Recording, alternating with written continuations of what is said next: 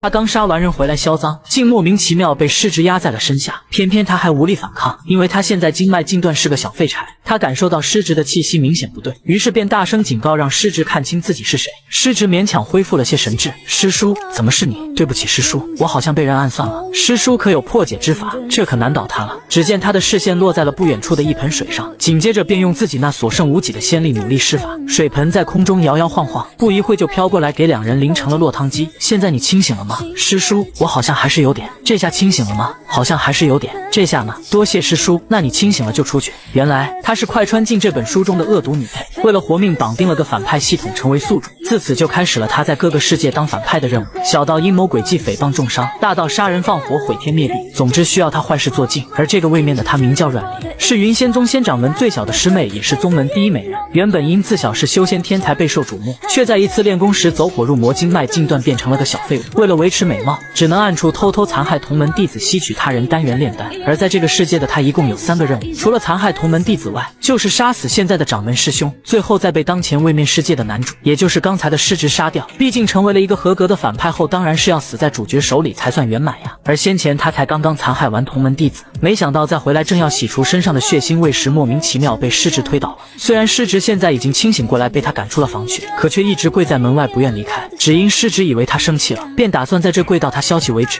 于是他只好再次打开门，想要将其打发走。结果迎面就是一段失职的诚恳道歉：“弟子惊扰长辈有错，若师叔没有消气，我不敢离开，还望师叔责罚。可我并没有生气，也没有责罚你的意思。你既然都说是被人陷害了，那便不是故意的。以后小心别再被人算计了。快离开吧！”失职的瞳孔顿时放大，只因掌门师傅从小给他灌输的教义就是不允许他犯错。你和其他弟子不同，你天赋异禀，是宗门的希望，天之骄子是不允许犯错的。你是宗门的表率，一定要做重弟子们的榜样。你不可软弱，不可消沉，更不可犯事。可刚才师叔竟说根本没有怪过他，这让他的内心第一次感受到温暖，也是第一次有人跟他这么说。恰巧这时给他下药的罪魁祸首出现了，是他掌门师傅的亲戚赵倩怡。此刻赵倩怡还装作一脸无视的挽住了他的胳膊，结果就被他直接甩开，并怒斥道：“戏演完了吗？”赵倩怡立刻哭得梨花带雨。师兄你别生气，我也不知道你会对那茶过敏啊。可他却不信，将赵倩怡推开后，又严厉地对其警告道：“看在掌门的面子上，我不会当众拆穿你的把戏，但你若再来纠缠我，定不客气。”赵倩怡的脸色冷了下来，看着他离开的背影，不解他明明喝了药，为什么还会这么清醒？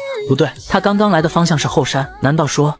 只因他昨夜中药扑倒了师叔，导致回房睡觉时做起了春梦，结果一早醒来他就看到了满床的惊喜，而且还偏偏被师弟撞见了。师兄莫担心，春天嘛，理解的。我去给师兄您拿条干净的蟹裤来。住嘴，出去。等他整理好衣装后，便即刻打算去找师叔。而此刻师叔正看着一本名册发愁呢。原来师叔乃是快穿到这个世界的恶毒女配，为了完成任务，他需要每两个月屠杀一次同门子弟。不过他杀的其实都是些道貌岸然之徒，就比如他昨夜行动时杀的那些弟子，其实都都是几个月前在山下强暴过农户家女儿的人。由此可见，哪怕反派也并非是纯恶之人。而这时师侄恰好来了，告诉他宗门急召，要所有人立刻前往大殿商议要事。路上他见师侄脸色不好，便问其是不是做噩梦了。可师侄竟莫名脸红了起来，不仅什么也没说，还莫名其妙的背过了身去，加快了脚步。很快，云仙宗所有人都聚集在了大殿，而被如此郑重对待的大事，就跟昨夜后山的命案相关。原来宗门一直有个连环杀手，至今未找到。现在距离三年一次的仙门大会就只有三个月了，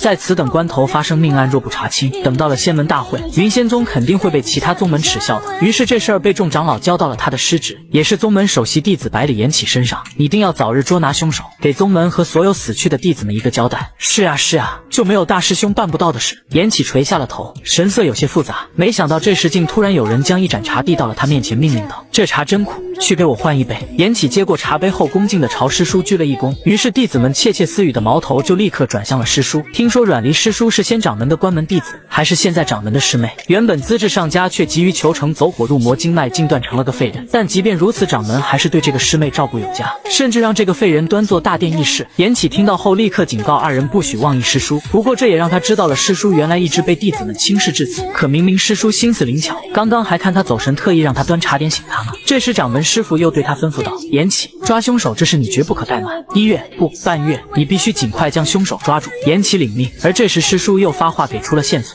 今早我查看尸体时，发现他们都是被凶手捅了数刀后再勒死的，而且丝线勒痕由下往上，说明凶手是个以虐杀为号、身形矮小之人。你若往这个范围去查，肯定能筛掉不少人。严启谢过了师叔，没想到师叔又一次帮了他。而在会议结束后，阮离的系统便好奇地问他：这么明目张胆地给男主线索，就不怕男主明天查到他头上吗？可阮离看上去却丝毫不在意，他看不惯这么多人把担子放在一个少年身上。再说了，尽快推动位面剧情的发展不是更好吗？他被师妹下药推倒了师叔，没想到师妹第二天居然还敢若无其事地跑到他跟前给他送礼物。尽管他昨夜已经警告过师妹了，可师妹偏偏左脸皮贴在了右脸皮上，一边脸皮厚一边不要脸。师兄查案辛苦了，快尝尝我新学的糕点吧。不必了，我想昨晚我已经说得够清楚了吧？可是我都已经向你道过歉了呀，为什么还不原谅我？一旁的弟子们看着心急，叨叨着小师妹这么可爱，做了什么事情不能被原谅？大师兄也太不近人情了吧！随后就见小师妹妄图将试盒强塞进严启手里，严启一直拒绝，直到不远处传来了一阵清脆的女声：“强加于人的善意和恶意有什么区别？抱歉，我只是闲来无事念几句话本里的台词罢了。怎么影响到你们谁了吗？”严启礼貌地朝师叔鞠了一躬，没想到师叔又一次替他解了围，而这却让师妹窝了一肚子火。没想到严启师兄和师叔的关系这么不一般。可这时那个嘴欠的弟子又开始叨叨了起来：“这女的原来就是那个废物阮师叔吗？长得是挺美，就是嘴巴毒了点，真是没点长辈样，居然敢阴阳怪气小师妹。”严启听到后脸一沉，立刻命人将这妄议长辈还犯上作乱的弟子绑起来，押去祠堂打一百鞭。嘴欠的弟子这时才开始后悔，一路上连连求饶却无济于事，就连其他弟子们也是头一次看到他们的严启大师兄生这么大气。看来师叔在大师兄的心目中不一般啊。而不一会儿，师叔便说自己要下山去买点东西，可严启却不放心师叔一个人下山，因为现在连环杀人案的凶手还没找到，很难排除不再次作乱的可能。于是他提出跟师叔一起下山去，同时还可以帮师叔拎东西。而在回来的路上，他竟发现师叔居然是不辟谷的，而且还特别喜欢甜食，这样看和别的普通女孩子几乎没有什什么区别。而师叔见他看了自己怀里的甜栗子半天，以为他是馋了，于是便问他是不是也想尝一个，可他却转过头拒绝了，称掌门师傅曾教导过他，大弟子要有大弟子的样子。然而下一秒，一颗剥好的甜栗子竟被直接塞进了他嘴里。你明明想吃，为何不说？还看了这一路，这让他的脸瞬间红到了耳根，又像之前一样突然加快了脚步。等他将新买的东西都放进了师叔的房间后，便去找掌门师傅复命了。掌门师傅看着他，问他宗门杀人案可有什么进展？严启则老实回道，说暂时没有追查到可疑的人，只是发现昨夜被杀的那几名弟子，半年前曾在山下镇子上玷污过一位良家姑娘，那姑娘最终被逼死了，而且还发现往年所有遇害的弟子都曾做过诸多不耻之事。用死有余辜来形容一点都不过分。如此看来，这个凶手更像在替天行道般，但又与一般人不同。因为一般人若是嫉恶如仇，想要替天行道，都会偏向于将恶人所做的事情公之于众，然后将恶人交给宗门惩处。可这个凶手却不一样，选择的是将恶人私下虐杀。由此可见，这个凶手应该是不相信宗宗门的权威与公正了，才会选择亲自虐杀那些恶人的。掌门听后一愣，没想到宗门既然已经在某些人心里失去了威信，于是便让徒儿继续查。马上就要到仙门大会了，务必让真相尽早水落石出。可严启又突然跪下，称自己还有一事要禀报。天气马上要入冬了，后山阮离师叔所住的地方物件却十分稀缺，甚至连一件过冬的物品都没有。能否让人去添置一些呢？掌门听后无奈叹了口气，没想到他这个师妹还是喜欢把什么事都闷在心里，这样下去迟早会憋出病来的。于是他便让徒儿 下月带着些弟子们跟阮离一起去仙门大会吧，全当让阮离散散心了。他被师侄一脸天真的带出来散心，可任务却偏偏要他在今夜杀人，只因他是快穿过来的恶毒女人，若每两个月不杀一次人，他便会被系统杀死。而现在两月之期已经快到了，但同行的弟子一共就十几个人，若是有人死了，他被揪出来的概率肯定会大大提高的。可他现在哪怕还没开始行动，居然就已经遭致了几乎所有同行女弟子们的不爽。凭什么严启师兄一整天都围着阮师叔转，我们连和师兄说一句话都难？这时人群中的小师妹也刚好瞥了他一眼，结果严启这时恰好又凑到了师叔旁边。师叔，我们打猎带回来了些猎物，你想吃什么？我来烤给你吃。我喜欢吃兔子。于是严启便听话的给师叔烤起了兔子。他本以为女孩子都不忍心吃兔肉的。没想到师叔这么与众不同，而当兔肉烤好后，师叔便一脸幸福的吃了起来。严启看得一脸欣慰，没想到师叔除了淡漠之外，偶尔还会露出这样可爱的神情。他宠溺的让师叔慢点吃，如果喜欢的话，他还可以继续烤。这让不远处看着的赵倩一心里更酸了，想不通凭什么师叔就能得到严启师兄的照顾？难道师叔修为废了，手也残了，连肉都不会自己烤了吗？而在所有人都吃饱喝足后，大家便都相互倚靠着睡下了。严启负责巡逻，在深夜保护大家的安全，而他走着走着，视线竟又定格在了师叔身上。没想到师叔休息的时候，身上冷漠的锋芒全部都收了起来，看起来就像个寻常人家的女孩子。不过算起来，师叔应该有一百多岁了，但此刻闭着眼睛的样子，瞧着也就只是个刚成年的少女一般。这时，师叔身上的披风突然滑落了一角，他在原地犹豫了半天，最终还是决定帮师叔把披风盖好。可在此过程中，师叔竟一个重心不稳靠到了他身上。他见师叔睡得正香，实在不好意思将其吵醒，而且他的手在即将碰到师叔的脸蛋时还收了回来，懊恼自己怎么能冒犯师叔呢？时间就这样不知道过了多久，有一个女弟子趁着大家都熟睡时偷跑了出来。屈师兄，你在哪呀？我来了。师妹，你来的挺准时呀。留给我们的时间不多，趁着没人发现，我们不如拖吧。而下一秒，原先睡着的师叔竟已醒来，还把不小心睡着的延启师侄也给叫了起来。醒醒，有妖灵！延启听后，立刻大声对弟子们命令道：“全体听令，列阵对抗！”弟子们听令，立刻架起剑阵。果然，草地上突然飞出了几根凶猛的枝条，弟子们被吓得惊恐万分。师叔则在一旁冷静地安慰道：“不用怕，用火术集中攻击妖灵中心薄弱处。”延启也令大家都听师叔的，于是十几个弟子一起使力，那凶猛的枝条一下子就被烧成了炭黑的枯木。弟子们顿时都开心不已，因为他们还是第一次成功杀掉一只妖。多亏了师叔教的好，师叔被弟子们围着夸，有些受宠若惊。严启则在一旁露出了欣慰的微笑，看来大家似乎都愿意接纳师叔了。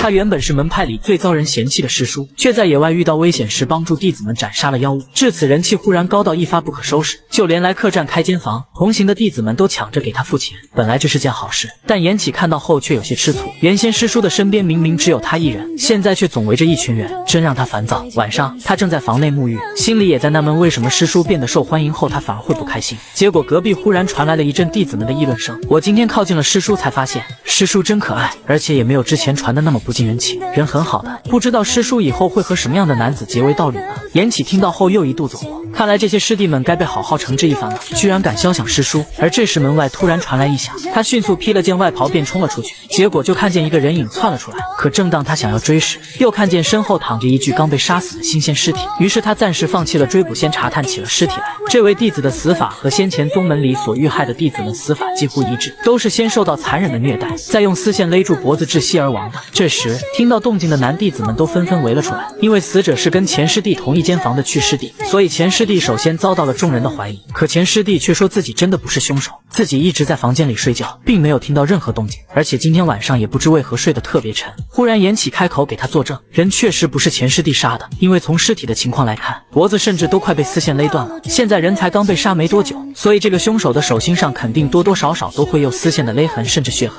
而钱师弟的手心干干净净，没有任何痕迹。所以不可能是凶手。男弟子们听后也纷纷亮出了自己的手心，所有人都是干净的，几乎可以排除嫌疑。恰好这时师叔和女弟子们也都赶来了。严启告诉他们，屈师弟死了，行凶者手心必定受伤。现在男弟子们都已经检查完毕，只剩下女弟子们了。师叔听后极其配合，让女弟子们都将手心亮出来接受排查。每个人都爽快的接受了，只有素师妹显得惊慌，而且在轮到素师妹时，她的手还迟迟不愿打开。直到严启冷冷的命令道：“打开！”他才慢吞吞的将手伸了出来，但手心却也是干净的。弟子们开心，看来他们之中没有凶手。或许凶手并非宗门之人，而是尾随至此的。本来排查正打算这样结束，没想到小师妹赵千一竟忽然提出女弟子中还有一人没验，那就是师叔。严启当然是信任师叔的，就连弟子们也这么认为。师叔怎么可能杀人呢？而且师叔根本没有武功，又怎么能进得了去师弟的身？可小师妹却执意要调查师叔，既然是清白的，为何不敢双手示人呢？你敢打开双手让我我们看一看吗？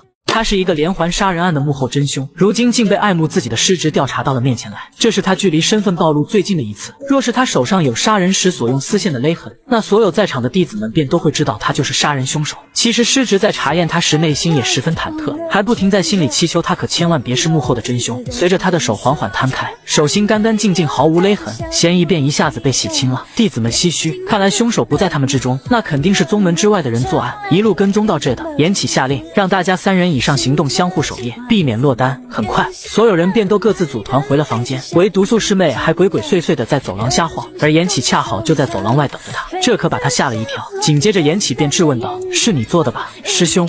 我听不懂你在说什么。你身上的味道和取师地房中的迷香味道一样，虽然很淡，但我在检查你手心时还是闻到了一丝气息。若我没猜错的话，这迷香现在应当还在你袖中。现在这会儿是打算处理掉吧？”果然，迷香药瓶从素师妹袖中掉了出来。现在他百口莫辩。言启又问他为什么要这么做。他只好坦白，大骂屈师兄就是个死有余辜的畜生。起先我不小心犯错，弄湿了藏经阁的书卷，屈师兄答应帮我担着，不告诉任何人。我本以为屈师兄是好心替我隐瞒，谁知却另有图谋。几乎月月周周，屈师兄都以此威胁玷污我。后来我才得知，这原来是屈师兄惯用的伎俩。宗门中不少女弟子都遭受到了屈师兄的迫害，甚至刚才在野外时还对我变本加厉。我实在忍不了了，才痛下杀手的。事已至此，我愿意认罪。你要抓便把我抓起来吧。不，你不是凶手，我不会抓你的。你虽然是迷晕他们的人，但动手的人却不是你，因为以你的性子，根本做不到杀完人后还能冷静地离开案发现场。况且你的身形和我看到从案发现场离开之人的身形并不一致，所以是有谁帮了你吗？屈师妹愣住了。与此同时，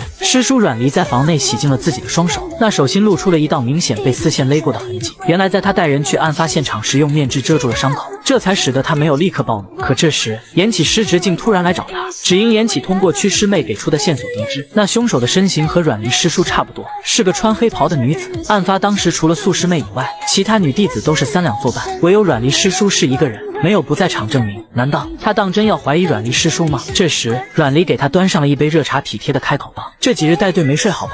喝口茶尝尝味道如何？”言启还在原地犹豫，忽然屋外响起了一道响亮的惊雷声，阮离被吓得瞬间扑进了师侄怀里，那杯茶则被摔碎在了地上。他在师侄怀里瑟瑟发抖，师侄一时间竟有些不知所措。但看师叔这么害怕，他还是暂时放下了查案的心思。不一会儿，师叔竟在他怀里睡着了。他认识师叔这么久，也是头一次知道师叔居然害怕雷声。如如此脆弱，仿佛轻轻一碰就会破碎。不过因祸得福，阮离熬过了昨晚身份差点暴露的一劫。因为昨夜他害怕到发抖，惹得失职怜惜，所以最终还是没有检查他手心的伤口。他作为宗门最受瞩目的大弟子，居然对一个武功尽废的师叔动了心。自这夜师叔因害怕打雷缩进了他怀里后，他就再也按捺不住自己的小心脏了。掌门师傅曾教他的正人君子礼仪修养等，在师叔面前都统统被打倒，他问心有愧。于是，在次日一早，大家即将出发前往仙门山时，他居然一反常态的跟师叔避起了嫌。明明先前都是他亲自带师叔御剑飞行赶路的，而这次他却派了一个女弟子来带师叔。师叔敏锐的察觉出了他的意思，虽然师叔本人问心无愧，但还是听从了他的安排。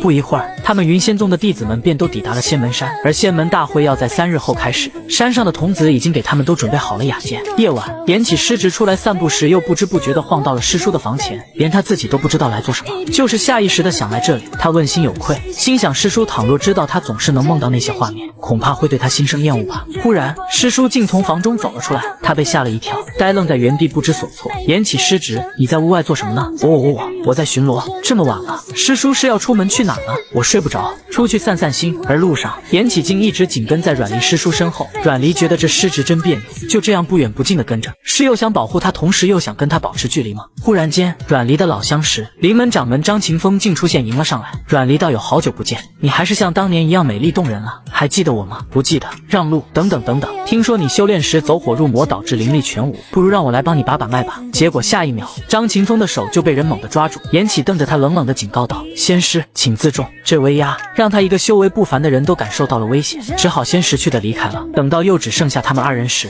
阮离便开口问道：“延启师侄，你是众弟子中最沉稳的，可刚刚为何会动那么大杀气呢？”延启沉下了脸不回答，因为师叔不会知道。刚才有一瞬间，他甚至都想剜了张晴风那双亵渎师叔的眼。而师叔见他不答，便又继续说了起来：“若下次再有这种情况，你可以寻个没人看见的地方打上一顿便是。但若明面上得罪小人，”只怕小人会怀恨在心，对你不利。言启这才知道，师叔原来是在担心他，于是他不解地问道：“师叔，你为何对我这么好？因为我有点喜欢你吧？”言启的小心脏顿时快要停跳，难道这就是期待已久的表白吗？可下一秒，师叔又补充道：“你人品相貌没得说，最重要的是尊老爱幼这点，我很难不喜欢你这种小辈。”好吧，他的梦又碎了。三日后，百年一次的仙门大会即将开始，参加的十二个宗门各派出六名弟子进行一对一比试，对决的双方由抽签决定，最终获胜者将获得。上庭法器一件。人群中，阮离师叔担心的对师侄吩咐道：“你对决时切记争强好胜，点到即可，不要受伤。”师侄点了点头，让师叔放心。这时，众多弟子们又发现了看台上的异样，奇怪，十二掌门的位置中，临门的掌门人竟不在。听闻是临门掌门张晴风昨晚起夜时不知怎地滑倒在了粪坑里，现在这会儿还昏迷不醒呢。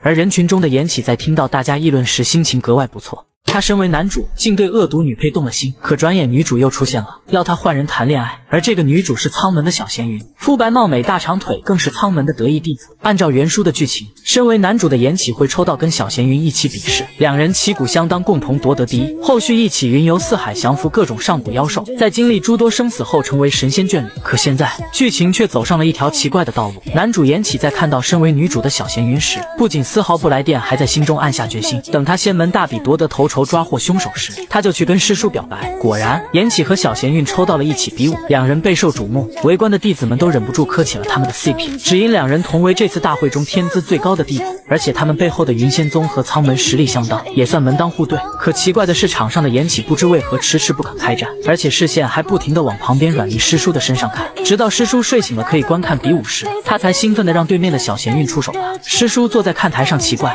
心想这傻师侄都什么时候了，还一直看着他干什么？比试都要开始了。按原书中的剧情，两人可是打成了平手，一起晋级的，所以小闲云的实力绝对不弱。可正当两人开始交锋时，意想不到的事情竟发生了。延启出手不过两招，小闲云竟直接被击败。本以为延启至少也得苦战一场，没想到居然赢得这么轻松。小闲云惨败，云仙宗获胜。阮离在看到这结果后则奇怪，原剧情怎么被彻底改变了呢？而在比赛结束后，严启的视线又落回了他身上，那表情仿佛在等待他的夸奖。最近的桩桩件件，阮离感到实在反常。难道说这师侄真的大逆不道，喜欢上他了吗？比赛结束的夜晚，他一个人在凉亭内望着月亮，没想到严启师侄竟又找到了他。见他身上穿的单薄，便把常备着的毯子从储物空间里取了出来给他盖上。师叔，夜里风凉，你又没有灵气护体？注意保暖。阮离迟疑了一秒，呆呆的看了看面前的师侄，随后便冷漠的称自己先回去了。那大大的披风盖在他小小的身躯上，显得他更娇小了。突然间，延启像是发现了什么般，流下了一滴冷汗。没想到阮离师叔披着披风的模样，竟与他记忆中。连环杀人案幕后凶手的模样重叠了，于是他迅速跟上师叔的步伐到了住所。因为不敢相信刚才那离谱的直觉，他又找了个借口想要进房间多留一会儿。这些天我隐约觉得要突破了，但总徒劳无功。师叔可否指点我一下呢？师叔听后毫无防备的答应了，紧接着便在床榻上运功帮他检查了起来。在此过程中，严启确认了师叔除了一些丹田的真元之气以外，确实没有半点法力，而且他刚刚进来大概张望了一下，也并无可疑之处。而这时，之前被严启欺负过的灵门掌门赵秦风竟偷摸到了门口，见这对失职孤男寡女共处一室，实在生气，于是便将一根迷香点进了屋内，计划着让严启付出代价。师叔与师侄二人竟孤男寡女共处一室，而且还遭到了阴险小人偷偷给他们下迷药。师侄闻到了这个气味后，立马察觉到了不对，而师叔此刻却已经面红耳赤的倒进了他怀里。只因师叔曾走火入魔，经脉尽断，所以没有修为，无法压制迷药的药力。无论如何，他现在都得想办法让师叔先恢复神智才行。可下一秒，师叔竟直接强吻上了他，而且还用那酥酥软软的声音祈求道：“帮帮我！”他赶紧抓住师叔那上下摸索的手，警告道：“师叔，这样只会越来越热的。”紧接着，他便将师叔放倒在了床上。先前一直都是您教导我，如今该轮到师侄教教您别的东西了。紧接着，他便朝师叔胸口那光洁的肌肤吻了上去。师叔咬牙，还在与理智斗争，可最终还是彻底失去了意识。与此同时，给他们下迷药的灵门掌门赵秦风竟大半夜的把一群长老叫了过来，要长老们跟他一起去抓奸。而正当他信心满满的推开阮离的房门时，看到的竟不是某香艳场景，而是阮离一个人坐在茶台边看书。且阮离在看到他们后，还装作一脸奇怪的问：“诸位大半夜的来找我有什么事吗？”被摆了一道的赵秦风顿时恼羞成怒，居然在大庭广众下对着阮离破口大骂：“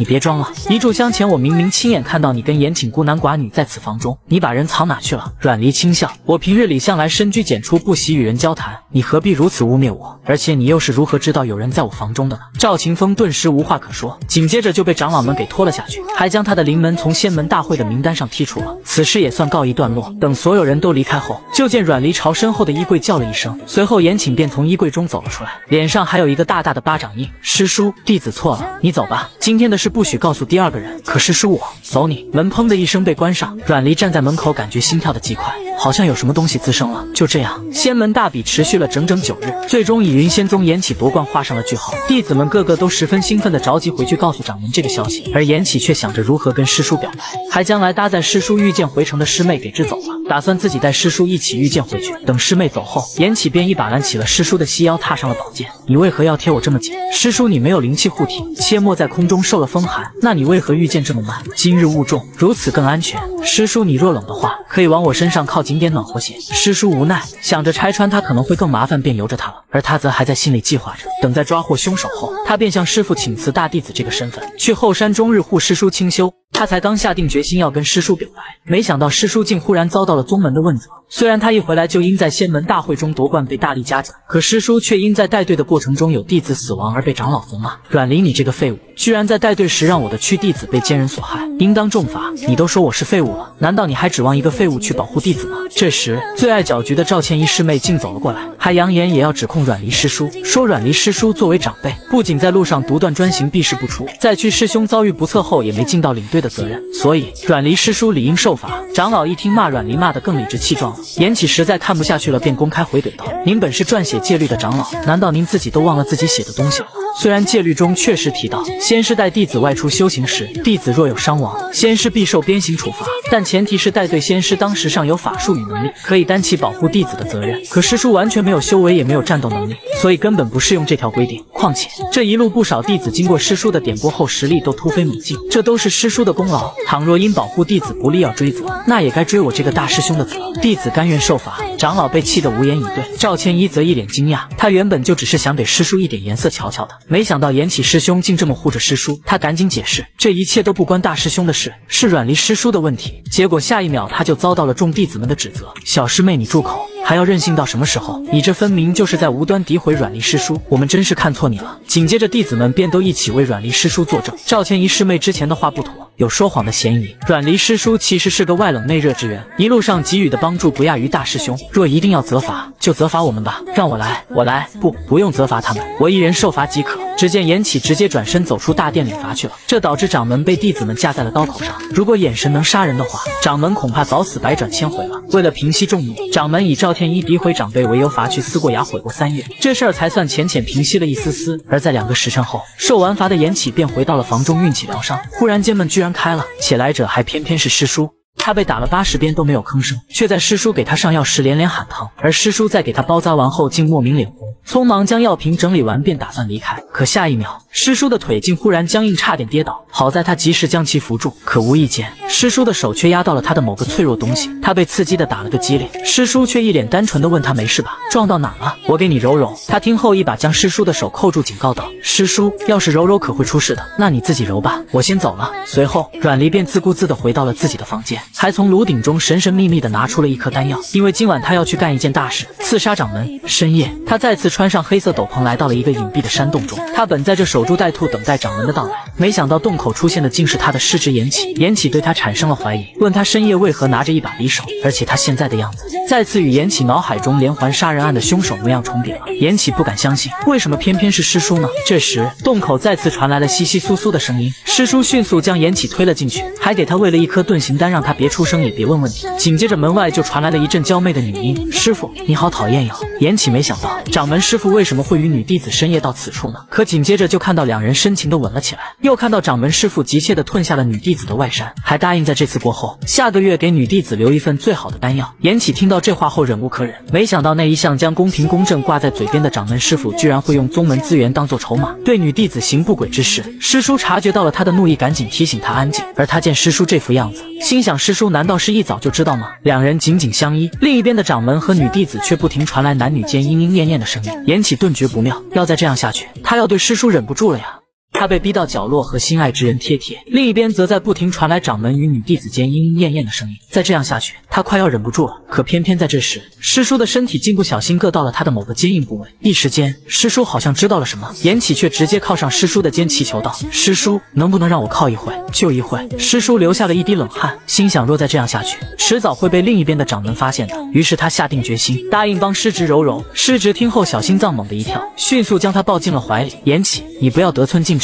师叔，你能不能再多喊喊我的名字？你快放开，还请师叔成全。言言起，不一会儿，另一边的掌门和女弟子便完事儿了。女弟子趁机向掌门请求，称自己想要个职位。听闻前几日管宗门俸禄的刘师兄走火入魔身亡了，能不能让自己顶上？可没想到，先前还对女弟子一脸怜惜的掌门，此刻竟突然扼住了她的脖子，而且还一脸凶狠的警告她：作为宠物，就别觊觎那些不该想的。女弟子被掐到差点窒息，连连求饶，掌门这才放过了她，让她记住刚才的话。很快，快两人。便离开了，躲在洞内的师侄二人也不必再压抑，两人一起出了山洞。师侄此刻脸上的表情十分糟糕，师叔回头问他怎么知道你一向敬爱着的师傅居然是个人面兽心的伪君子，就说不出话了吗？严启垂下头，支支吾吾的，依旧不知道说些什么。直到师叔跟他摊牌，严启，人皆有两面性，就比如我，我既是你敬重的师叔，却也是弟子们口中十恶不赦、残害同门的连环杀人案真凶。严启忽然抬头，表情一脸凝重的用剑指着师叔，开口道：“我想听你亲口说。”师叔回道：“如你所见，我若不用金丹维持这副躯体，恐怕早就死了。”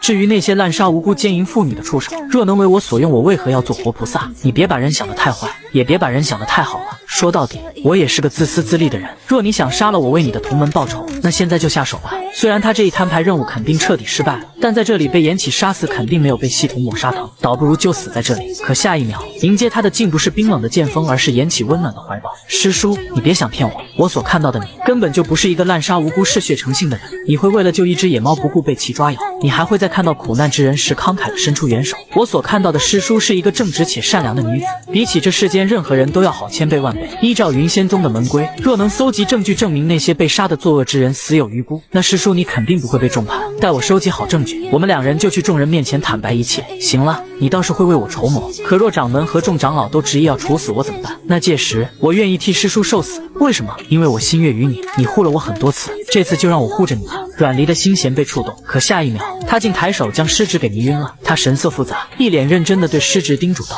你的命是你自己的，不用托付给别人，更不用托付给我。我还有非做不可的事情。”师侄就这样看着他的背影渐行渐远，心中则在不停呐喊：“快回来，别干傻事啊！”修炼天才竟在一夜之间变成了个废物，只因他最信任的师兄想要将他占为己有，变成胯下玩物。在此之后，他隐忍了整整五年，直到今日时机成熟，他才假装若无其事的拿着个木盒子来找师兄报仇。他借口说自己找到了几枚不错的丹药前来献给师兄，而师兄听后便将他带进了房内的暗室，随后才接过了他手中的丹药，将其打开。然而这盒子里却分明什么也没有。可下一秒，阮离竟趁机拔剑刺进了师兄的胸口。师兄一脸不可置信，问他的修为难道恢复了吗？他则冷冷的回道说没有，只不过是吃了聚灵丹，将这些年所有的精血化作了一天的修为罢了。掌门错愕，没想到他居然会选择吃聚灵丹，那可是当药效褪去后，会使人变得神魂尽失、无感尽废的技能。你这样做，难道是不打算给自己留后路了吗？那你当年毁掉我的时候，给我留后路了吗？那年我不过十三岁，视你如亲兄长。可就在我修炼即将突破的关键时刻，一个神秘人突然闯入我房中，将我的丹田击溃。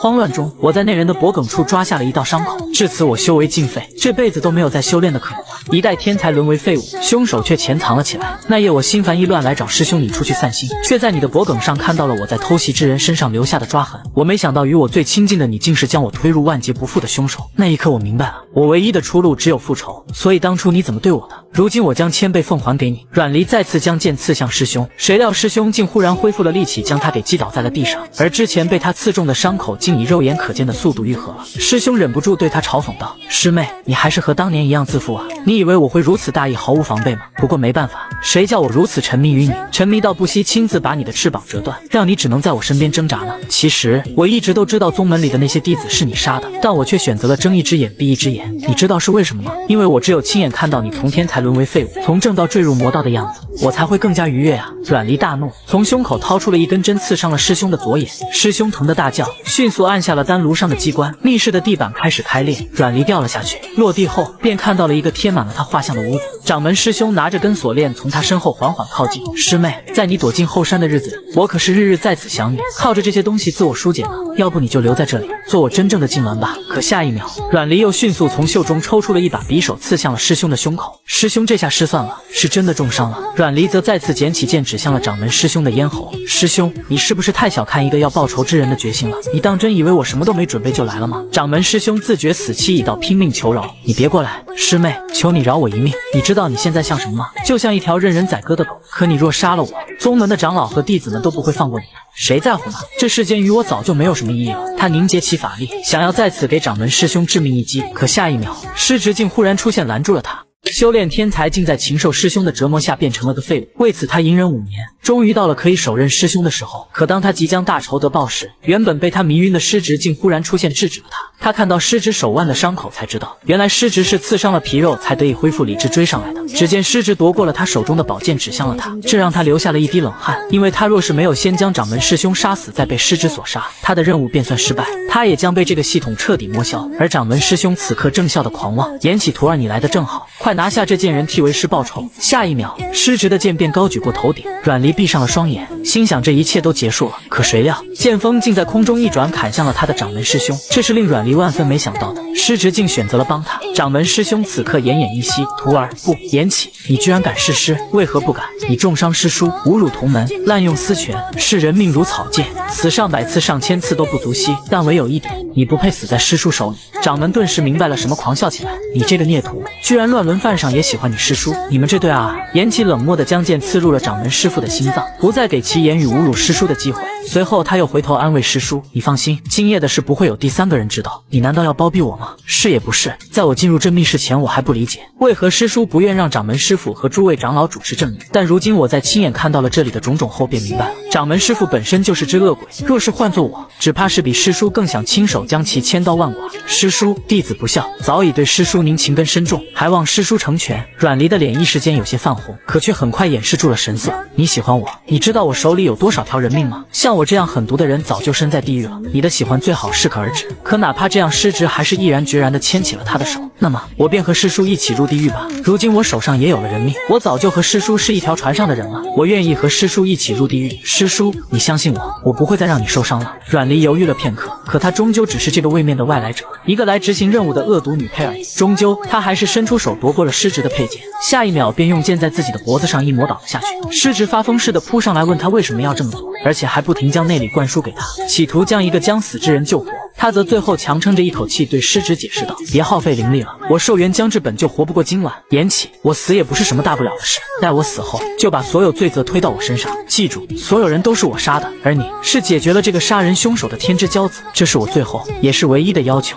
说罢，他便彻底失去了声息，只留下抱着他的师侄在痛哭流涕。当前位面的任务圆满完成，残害同门，杀死掌门，最后死在男主的剑下。没想到兜兜转转，任务竟是以这种方式结束的。很快，他便要到下个位面继续做任务了。可他在离开时，却又回头看了眼严启，真是个傻瓜。而在这个位面的三日后，严启正式成为了云仙宗的掌门。随着他的上位，前掌门及死去弟子的丑闻都被先后查证，所有被隐藏的恶事都被深挖出，一一摆在众人眼前，震惊全宗。严启执法求严，将云仙宗上下彻底整顿，以德治宗。短短三年，便将云仙宗发展成了大陆第一宗门。且在百年后，他不负天之骄子之名，励精图治，成为了当之无愧的修仙界第一。然而，却终生没有仙侣。他才刚死在这个世界的男主剑下，转眼就到下个世界踩起了男主的小鞋。原来她是快穿在各个世界的恶毒女配，任务是辗转于三千世界当反派，最终再被男主杀死。可她不知道的是，这些世界的男主其实都是同一个人，也就是将此快穿系统开发出来的百里博士。百里博士为了测试系统，亲自辗转在这些小世界中当男主，体验快感人生。阮离则是在一次意外中被系统选中的，成了快穿世界的恶毒女配宿主。在这个新位面里，她是一个女扮男装的四皇子。宫中现在一共有三位皇子，一位公主。大皇子的母族势力孱弱，二皇子则是男主，不仅深受皇。皇上喜爱，母家还十分得势。三公主是皇后所生，地位尊贵，最后才是她，一个不受宠贵妃所生的女扮男装四皇子。她的母妃身子骨弱，费尽心思才怀了孕，本以为能诞下龙嗣，博得皇帝的宠爱，不料冒死生下孩子后，却发现是个女儿。母妃多年的期待落空，于是买通宫人谎称生下的是皇子，且这一瞒就是五年。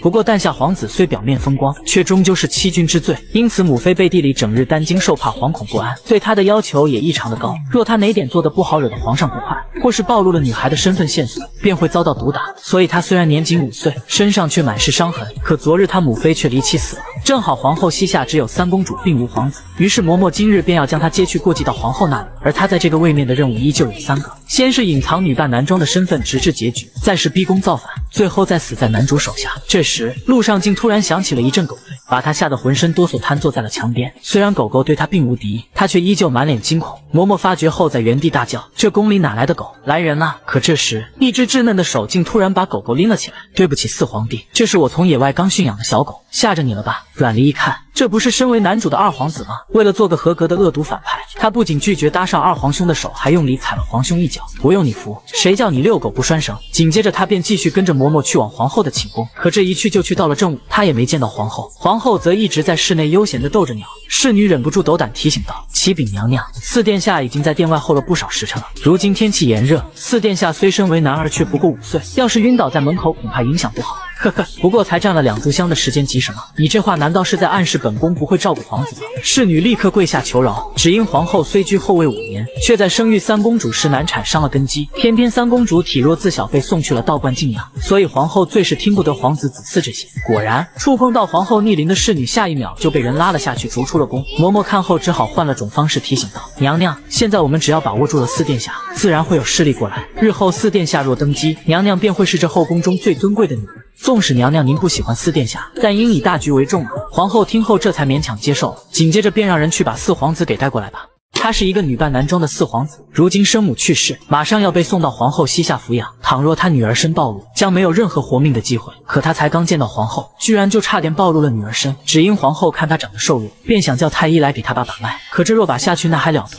于是他赶紧拒绝，说自己身体一直如此，今日有些累了，想先行告退。而皇后膝下无皇子，本就是想讨好他的，见他不愿把脉也就算了。可紧接着，皇后又好心的吩咐人去伺候他沐浴更衣，让他早点休息，这让他无语极了。看来躲过了把脉。躲不过沐浴啊！结果在御房内就看到俩太监在门口一脸为难的站着。四殿下求您了，让我们近身不是您沐浴更衣吧。滚，全都下去！再敢出现，杀无赦！太监们顿时被吓得跪地求饶，也不知这孩童明明只有五岁，眼神怎地如此吓人。终于，浴房的门被关上了，阮离松了口气，感叹怎么连洗个澡都这么麻烦，看来以后的日子不好过呀。与此同时，二皇子居然来到了四皇子的寝宫，想要给其道歉，只因先前他养的小狗不小心吓到了四皇帝，不好好道歉的话，他心里总过意不去。他找了半天，终于在一间房附近听到了一阵水流的哗啦声，于是他从窗边凑近一看，房内雾气缭绕，他的四皇帝正在洗澡，这令他瞬间脸红。不过想到大家都是男子。好像也没什么可害羞的，看就看吧。可下一秒，他就看到了四皇帝因为手太短，半天够不着衣服的一幕，这令他十分生气，心想伺候的宫人都跑到哪里去了？而正当他想进去帮忙时，又看到四皇帝从浴桶中爬了起来，后背全是伤的一幕，这令他心头一震，好奇皇帝到底经历了什么。于是他就在这浴房门口一直等，终于等到四皇帝洗好澡出来了。他担心四皇帝是遭到了工人的虐待，于是便一路小跑，紧跟上了四皇帝的步伐。可实际上，四皇子其实已经察觉到了二皇子的存在。只是他没好意思戳穿，不知道二皇子一直跟着他究竟是想干什么？该不会是还在惦记他白日里踩的那一脚吧？果然是小孩子，藏都藏不好，还记仇。与此同时，二皇子躲得忐忑极了，害怕自己该不会是被发现了吧？虽然他现在很想上去打招呼，但以四皇帝现在对他的好感度，大概率会把他当成画本子里的变态偷窥狂吧。可等等，四皇帝又走而且那个方向好像是荷花塘，那里地处幽僻，四皇帝又不善水，去那里做什么呢？而等到了荷花塘后，他便跟丢了，没办法。他只好暴露自己，大声寻找起来。四皇帝，你在哪里？能听见吗？而四皇子此刻其实就在二皇子附近的一片草垛边蹲着。他作为一个合格的恶毒女配，在这月黑风高夜，总得干点什么拉拉仇恨吧。紧接着，他便将手中的狮子猛地一掷，荷花塘内立刻就传来了一阵扑通的落水声。二皇子迅速回头，以为是四皇帝落水了。她身为恶毒女配。费尽了千辛万苦想让男主讨厌她，却怎想这个男主呆呆傻傻，反倒喜欢上了她。而在刚刚，她就只是将一块石头扔进了池塘而已。结果男主二皇子听到水声后就紧张的不行，以为是她落水了。于是二皇子着急忙慌的往池塘跑去，想要救她。可下一秒却被他故意放的树枝给绊倒，跌落了水中。见二皇子在水中挣扎，他又故意站到了岸边，因为他想让二皇子知道这是他干的，让二皇子记恨他。至于二皇子的安危，那荷塘的水其实根本就不深，估摸着就只到腰而已，不会出事的。可当二皇子脱险后，其实根本就没看到身为幕后凶手的他，甚至二皇子还在荷塘里暗自庆幸，幸好四皇帝没落水，是自己听错了。可正当他想要爬出荷塘时，胸口竟突然一绞。完蛋了，居然偏偏在这时候发病了。与此同时，四皇子刚从别的房中拿了一份伤寒药出来，只因夜里寒凉，像他这个年纪的小娃娃，大晚上夜行若还不及时服用伤寒药的话，明早肯定得感冒。可下一秒，他就发现面前有两个宫女正焦急的在原地打转，怎么还是没有二殿下的踪迹啊？怎么办？怎么办？若是被皇贵妃知道二殿下不见了，一定会要了我们的命的。四皇子听到后奇怪，难道二皇子还没回去吗？他记得二皇子会水的呀。突然间，系统在他脑海里跳出来说忘了件事，男主体质特殊，天生有心疾。而他听后便快速折返向荷花塘跑去，果然在荷塘边看到了瘫在地上的二皇子。由于系统的信息出现了严重纰漏，作为补偿，便利用神之手帮他将二皇子突发的心疾给压了下去。可二皇子现在看上去依旧虚弱，应该是因为在这寒夜之中入了水着凉了。而他刚刚拿的伤寒药只有一人份，根本不够他们两个人用。现在该怎么办？算了，看其这副样子，还是给二皇子用吧。于是他将风寒药丸塞入了二皇子的口中，紧接着再用荷叶盛水给其喂了下去。二皇子的眉眼逐渐舒展开了，隐约间他看到了一个小小的身影在身边。可当他次日醒来后，身边坐着的却是大大的母妃。母妃一脸担心，问他怎么会昏倒在荷花塘呢？他撒谎说是自己一时贪玩不慎落水了。紧接着便反问母妃自己是怎么回来的呢？母妃告诉他是宫里那两个侍女把他带回来的，现在已经被罚去面壁了。他听后替侍女求饶，请母妃不要责罚他们。母妃想了想，答应了他，让他好好歇息。而等母妃离开房后，他便一直在床上思索着。虽然母妃说他是被宫女救回来的，可他却隐隐觉得不是。那模糊的身影倒更像他的四皇帝。与此同时，他四皇帝的卧房内正不停传出阿嚏阿嚏的声音。没有及时服药而得了风寒的四皇子，此刻正怨念满满的缩在被窝里。而今日还偏偏是他。死去的母妃下葬的日子，没办法，只能硬着头皮上了。他是一个女扮男装的四皇子，同时也是书中的恶毒母配。任务则是欺负男主，让男主恨他恨到牙痒痒。可没想到，男主越被他欺负，反而对她越爱。就连他在生母的灵堂上吸个鼻子，男主都会站出来替她遮挡。原来男主是以为他小小年纪看似要强，心里肯定因母妃的过世伤心的很，难免会有忍不住想哭的时候。可实际上，他这个快穿过来的女配，其实对死去的生母根本就没有感情，只是因为昨晚得了风寒，不小心流鼻涕了而已。而此刻，男主二皇子还在安慰她节哀，若是伤心便哭吧，不用忍着。然而换来的却是他的一脸冷漠。我不爱你，让开！皇帝，你说什么？我说你少管闲事。他伸手将二皇子推开了，可下一秒他竟脚下一个不稳，差点滑倒。幸好二皇子及时搂住了他，可他却以怨报德，在二皇子右脚猛地一踩，二皇子疼得缩了起来。他则一脸阴冷的警告道：“少假惺惺的，下次我可就两只脚一起踩了。”二皇子听后吃惊，不明白四皇帝昨晚明明救了他，为什么今早又变得跟他恶言相向了呢？可下一秒，他就从前来祭拜的妃子们口中明白了些，原来这灵堂上几乎所有看似来祭拜他四皇帝生母的人，无一不是在对他皇帝冷嘲热讽。那四皇子真是无情，他生母也是活该，真累死老娘了，还还要来演戏。快看他呀，生母死了还一脸冷漠，真有意思。就是一条白眼狼。虽然四皇子早就知道了这些对他的言论，但他却毫不在乎。可在二皇子眼里，却对这个四皇帝心疼极了。他不信四皇帝真是个无情的人，不然昨夜怎么会救他？这时，皇后娘娘忽然从人群中走来，靠近四皇子，紧接着便摸了摸四皇子的头，安慰道：“别难过，本宫会好好照顾你的。”随后，四皇子便跟着皇后娘娘回宫了。路上，皇后突然问四皇子。你和二皇子方才好像有所交谈，不知你们二人说了些什么呢？没什么，二皇兄不过是让我节哀而已。皇后听后冷笑，在心中调侃他们可真是猫哭耗子假慈悲。紧接着便对四皇子叮嘱道：“你可千万别被你二皇兄他们哄骗了。你二皇兄的生母和你生母平日里向来不和，日后你可得小心点。”四皇子知道皇后是在他面前挑拨离间，但他并不在意，于是假装乖巧的答应了皇后。儿臣知道母后是对儿臣最好的人，别人都不过是虚情假意而已。皇后听后满意的摸了摸他的头，夸他是好孩子。与此同时，二皇子那边也被母妃叫去了寝宫。母妃问他：“今日四皇子生母的祭奠你也去了，你觉得四皇子为人如何？”二皇子老实交代：“大家都说四皇帝天生冷血，对生母的事事都一脸冷漠。但是说的不错，四皇子连母亲的事事都无动于衷，真是无情。你可得注意些。”二皇子一愣，没想到他话还没说完，竟被母妃打断。原来母妃并不喜欢四弟啊。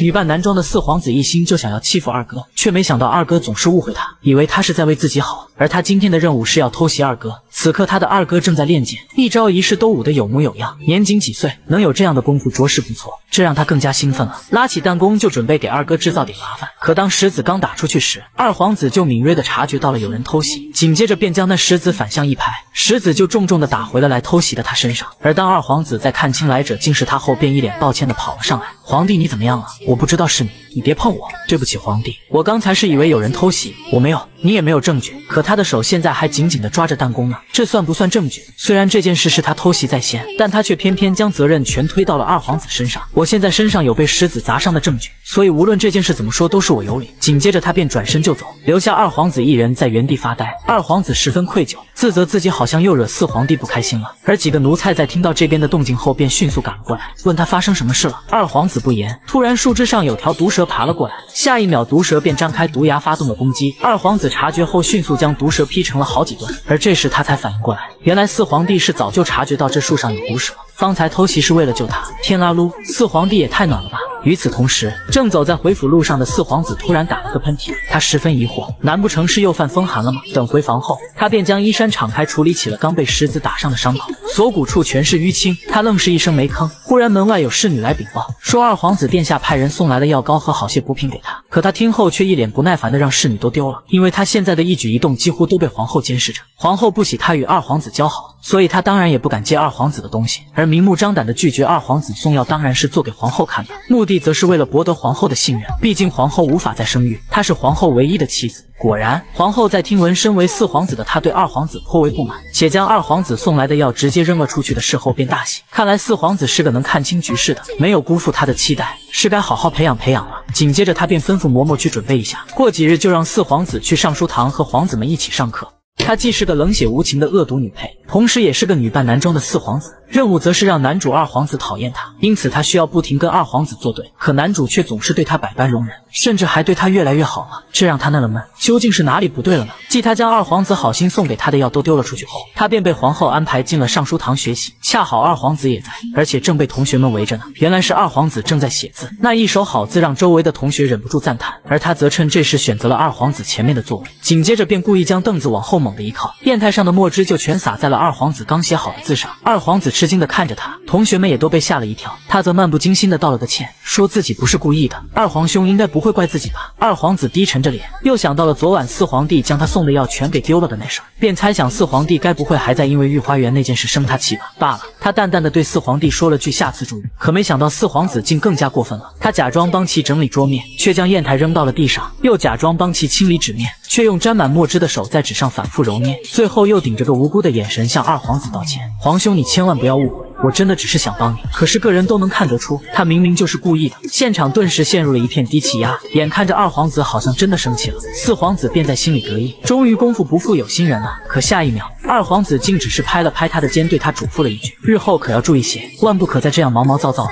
这让他顿时无语。没想到二皇子这人居然是个忍者神龟。这时上课的钟声敲响了，在一整天的课时结束后，同学们便忍不住议论起了今日课堂里的奇怪现象。原本聪慧的二皇子，今日居然一脸心不在焉，连简单的问题都答不上来。反观第一天来的四皇子，表现就突出多了，简直对答如流。不过四皇子好像一直在针对二皇子。与此同时，下课后的二皇子突然叫住了四皇子，还一脸认真的说想跟他谈谈，或许他们之间有什么误会。可他却直接甩了个脸色说没有。于是二皇子又问他今日为何如此，他便怒吼道：“因为我一直都不服。”我不比你差，凭什么你处处都压我一头？二皇子听后一怔，好像瞬间明白了些什么。眼看着四皇帝愤愤离去的背影，他若有所思。而在四皇子上了几日学堂后，皇后便将他叫来了跟前问话。皇后问他功课的结果如何，他则如实禀报：父皇对我的功课十分满意，不过却说我的诗杀气太重，唯独喜欢二皇兄的诗，还特意给了二皇兄赏赐。而皇后听后便嘱咐他：既然你父皇不喜欢你的诗杀气太重，那你日后便要注意些，切记一定要让你父皇满意，并且绝不能居人之后。特别是二皇子。她是一个女扮男装的四皇子，同时也是快穿过来的恶毒女配。任务则是欺负男主，让男主讨厌她。可没想到，无论她怎么欺负男主，男主都对她百般容忍。看来她是时候上点手段了。只见他私底下将尚书堂的同学们找来了大半，通过威逼利诱，伙同这些同学们帮他一起去欺负二皇子。而此刻，二皇子正在庭内看书，忽然间，附近的草丛就传来了窸窸窣窣的声音。紧接着，他便被同学们团团围住。他冷下脸问他们这是作甚。四皇子则出现在人群，回应道：“听闻二皇兄武功了得，我们特地来讨教讨教。”随后就见四皇子一声令下，同学们便都朝二皇子扑了上去。可二皇子只是微微一抬手，体格最大的那个就直接被他拍飞了出去。紧接着，他便脚尖轻点，从地上跃起，原先包围他的同学们都被踩倒在了原地。只几秒钟，前来宣战的人几乎就全被打败，而且是被一个人。只见他严肃地看着四皇子，开口道：“四皇帝，现在我们可以好好说了吗？”四皇子沉下了脸。看这样子就不打算好好说话，且下一秒他就突然扑上去，用力咬住了二皇子的腿。二皇子吃痛的咬住了牙，同学们看到后都大叫着使不得，可他却依旧咬着不放，还恶狠狠地瞪着二皇与其对视。她是一个女扮男装的四皇子，同时也是快穿过来的恶毒女配。为了能让男主讨厌她这个反派，每天她都在努力跟男主作对。虽然她不会武功，打不过身为男主武力值高强的二皇子，但气势上她却绝对不输。哪怕不要这个脸，她也要咬伤二皇子的腿。二皇子质问她，难道她就不怕自己把今天这事告诉父王吗？然而她却求之不得。最好二皇子能恨她恨到牙痒痒。可没想到，当侍卫们赶来时，二皇子竟依旧像往常一样选择了袒护她。明明他都将其咬伤了，二皇子却跟侍卫撒谎说是。在这里跟他聊天。等侍卫们都退下后，二皇子又温柔地向他伸出手，想将他扶起，称他现在还小，没练过，肯定打不过自己的，但自己会等他长大，等他光明正大的胜过自己。可尽管二皇子待他如此宽容，他却蛮横地拍开了二皇子的手，不服气地离开了。这还是他执行了这么多次任务后第一次气急败坏到这种地步。真不知道这种幼稚的小孩找茬游戏究竟还要持续多久。可没办法，虽然一肚子气，但任务还得继续。而在接下来的半年中，他依旧每天都在努力的跟二皇子作对。这原本是二皇皇子在考试时写的重要文章，结果却被他涂上了乌龟。在二皇子射靶时，他便把靶给砸了，随后还当做无事发生般离开。再没想到怎么整二皇子时，他便白天在军营练武，晚上在房内攻读诗书。渐渐的，二皇子已经被四皇帝整习惯了，而近几日，四皇帝很久没来整他，让他都有些不习惯了。他担心莫不是入秋后四皇帝受寒着凉生病了吧？而当晚，四皇子便浑身是伤的回到了房间。这几日，皇后娘娘对他可狠了，不仅把他塞到军营训练。还完全不让大将军对他这个小孩手下留情，宫女们都忍不住在路上议论了起来。四殿下最近回来，身上总是青一块紫一块的。皇后娘娘也完全不制止一下，只管着四殿下优秀，毕竟不是亲生的呀。而这些话都被前来探望的二皇子听到了，于是他中途来到了太医院，打算弄些伤药后再去看四皇帝。可太医院的门还没进，他母妃竟忽然出现，叫住了他，还严厉的质问他大晚上的来这干什么。他知知道母妃不喜欢四皇帝，若知道他是来给四皇帝拿药的话，肯定会大发雷霆的，于是便故意撒谎说是。路过，可他母妃其实早就已经看透了他的小心思，还指明不要以为不说母妃就不知道了。他其实一直以来都在纵容四皇子那个小狼崽子嘛。结果呢，他对那四皇子处处忍让，四皇子又是怎么对他的？这段时间工人们怎么说的？难道他还不知道吗？二皇子一怔，过去四皇子对他的嫌恶一幕幕的浮现在了他的脑海。或许四皇子是真的很讨厌他吧。而他母妃还在继续说着，他们本就与皇后的势力势同水火，既然他生于皇家，那跟四皇子就注定是敌人。而他为了这么一个恩将仇报的狼崽子。撒谎欺骗母妃，真的值得吗？四皇子听后垂下了头，双手紧紧攥紧了衣衫，紧接着便被母后命令回房去，还令人看管好他。这几日不许他再来太医院。是一个女扮男装的四皇子，同时也是个快穿过来的恶毒女配。为了能让男主讨厌她这个反派，她每天都在努力跟男主作对。可没想到，男主不仅不讨厌她，还时时刻刻关心着她，甚至不惜故意受伤，就是为了能有机会从太医院拿到伤药送给她。可这好心换来的，却只有他这个恶毒女配的冷眼相待。原来，在身为男主的二皇子知道了四皇帝受伤后，当晚便偷偷跑来了太医院拿药，只是中途被母妃发现了。母妃不喜欢四皇帝，当然也不会允许他去帮助四皇帝的，于是他就被赶回去软。禁了起来，可次日他又借着去给父皇狩猎做毯子的由头溜出了城外。母妃听他是为了讨好皇上而出去的，便没有多做追究。而在城外的山林内，他才没狩猎多久，便打算单独行动，让身后的下人们都不必跟着。只见不远处的草丛中，正有只东东西在里面窸窸窣窣。他拉弓瞄准，却在下一秒看见，原来是一只白狐在可怜兮兮的舔舐伤口。他心软了，因为白狐这独自舔舐伤痕的样子，让他联想到了四皇帝。他四皇帝也是这样，小小年纪没了母亲，浑身上下满是伤痕。于是他放。过了这只白狐，一个计划也从他心中油然而生。而到了下午，整个太医院便乱作了一团。宫内传言是因为二皇子今日上山狩猎时突发心悸，从马上跌了下来，皇贵妃因此发了好大火。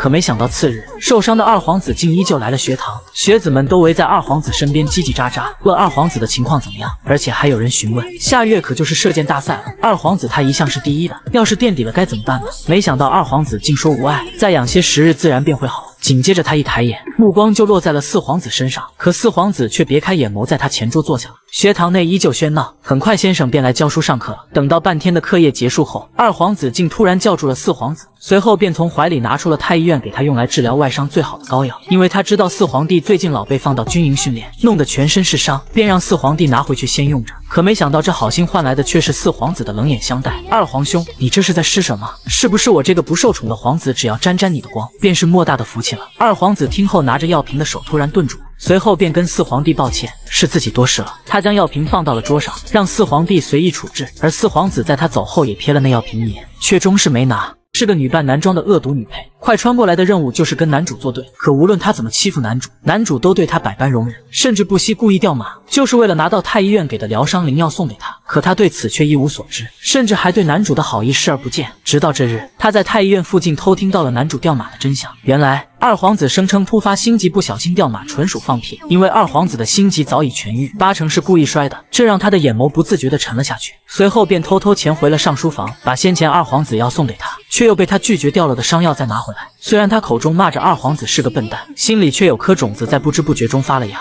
次日，他又在军营中结束了一天的魔鬼训练。而在接下来的半月内，大将军因为有事特许他回去歇息半月，之后再来抽查他的骑射。而他强撑着送别了大将军后，便钻回了自己的马车上。下一秒，他便浑身一软，瘫坐了下去。腹部还不停传来阵阵剧痛，不过幸好他刚才在将军面前还是撑住了，不然若是被将军知道，把他送去太医院让太医净了身，他女扮男装的秘密可就瞒不住了。而等马车到了宫门后，他便下车，打算一个人走回去。雪地上深深浅浅的留下了他小小的脚印，他则尽力捂着腹部的伤口往回赶。可半路，他竟很不巧的跟二皇子偶遇。只见二皇子突然凑上来问他怎么在这里，而他还没来得及回答，腹部就猛地传来一阵刺痛。二皇子担心的问他怎么了，是不是受伤了？他则还是一脸凶狠的让二皇子少管闲事。可他走路的步子却明显摇晃了不少，只一阵风吹过，他便倒了下去。二皇子急忙冲上来将他接住，却发现他明明长高了不少，身体却十分清瘦。而此刻的他则像只受惊的小猫般，用力挥舞着爪子，想要从二皇子怀里挣脱。可二皇子却一把将他抱了起来，打算亲自送他回去。完了，他的视线开始模糊了，嗓子也快发不出声音了。只在晕过去前，最后听到了二皇子的一句话：“别怕，我一定不会让你有事的。”随后便晕了过去。只见二皇子快步将晕厥的他抱回了房间，守门的宫女们看到后都惊呆了，嘀咕：“二皇子和四皇子不是一向水火不容的吗？怎么凑一块去了？”等四皇子被送回了房间后，二皇子就赶紧给他盖上了被子，紧接着便冲身后大叫道：“太医呢？太医到了没有？”可显然太医到现在都还没到。二皇子一脸担忧的看着床上的四皇帝，心想：果然皇后到底不是他四皇帝的亲生母亲，只是把四皇帝当成一颗棋子罢了。而不一会儿，太医才姗姗来迟。二皇子赶紧命令太医去给四皇帝查看一下腹部的伤口。可糟糕的是，这恰巧是四皇子最害怕的事。他隐藏多年的女儿身难道就要暴露了吗？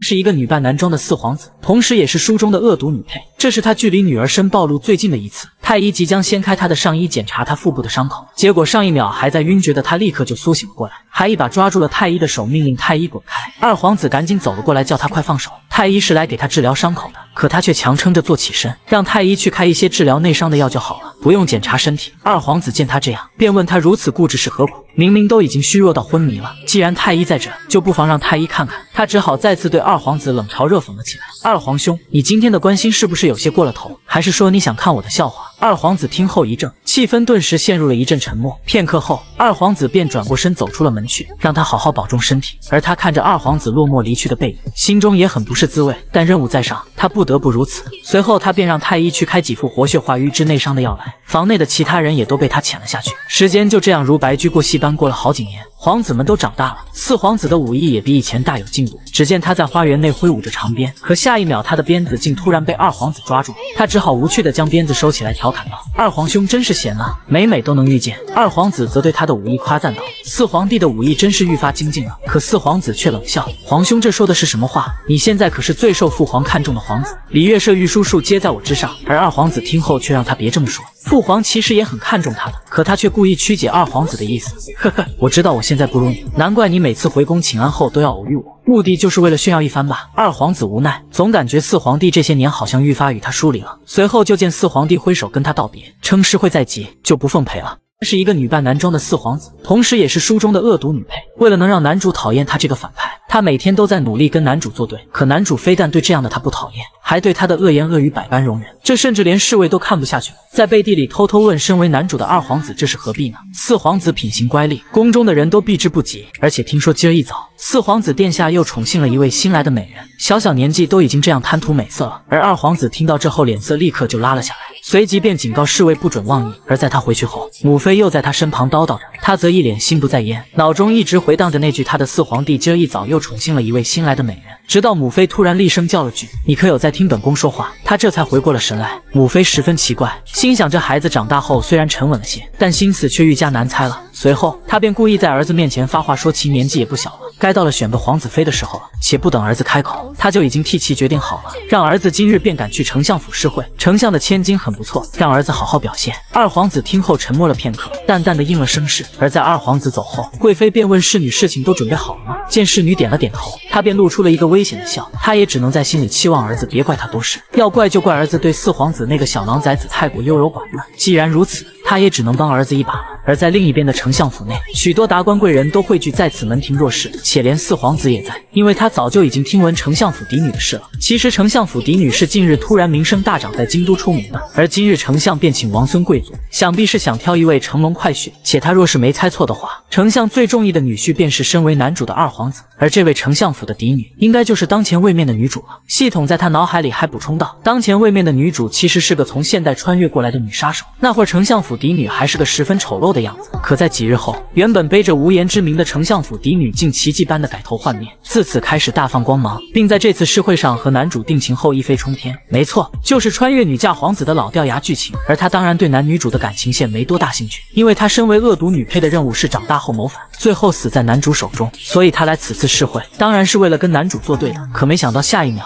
他竟在一处隐蔽的洞穴中偶然见到了一具婆子的尸体，婆子浑身鲜血淋淋，怕是死前遭过不少折磨。系统在脑海里告诉他，这死的婆子应该是女主身边的嬷嬷，这也意味着丞相府怕是不太平。看来丞相府上应该有跟女主作对的人，因为这世间越是华丽的锦衣下藏着的东西，就越是腐臭肮脏。而他继续走着走着，又听到不远处传来砰的一声，只见一女子将一婆子猛地踹倒在地，还大声对倒地的婆子质问道：“说灵婆在哪？”而这位看似有些嚣张跋扈的女子，应该就是当前位面的女主，这丞相府的大小姐了。而那被踹倒在地的婆子则满脸惊慌，表示完全不知道大小姐在说些什么，自己只不过是奉了夫人的命令来送早饭的。然而大小姐却趾高气昂地继续质问道：“平日里的早饭明明一直是灵婆送的，今天为什么换了人？”地上的婆子则哆哆嗦嗦地摇着头，结果就被大小姐突然钳住了喉咙，再次质问道：“你难道还要继续装吗？别以为我不知道你在这饭食里加了什么。”可下一秒，她竟看看见了身后有人闪过，于是他便迅速抛下婆子，让侍女把人看管好，随即便追了上去。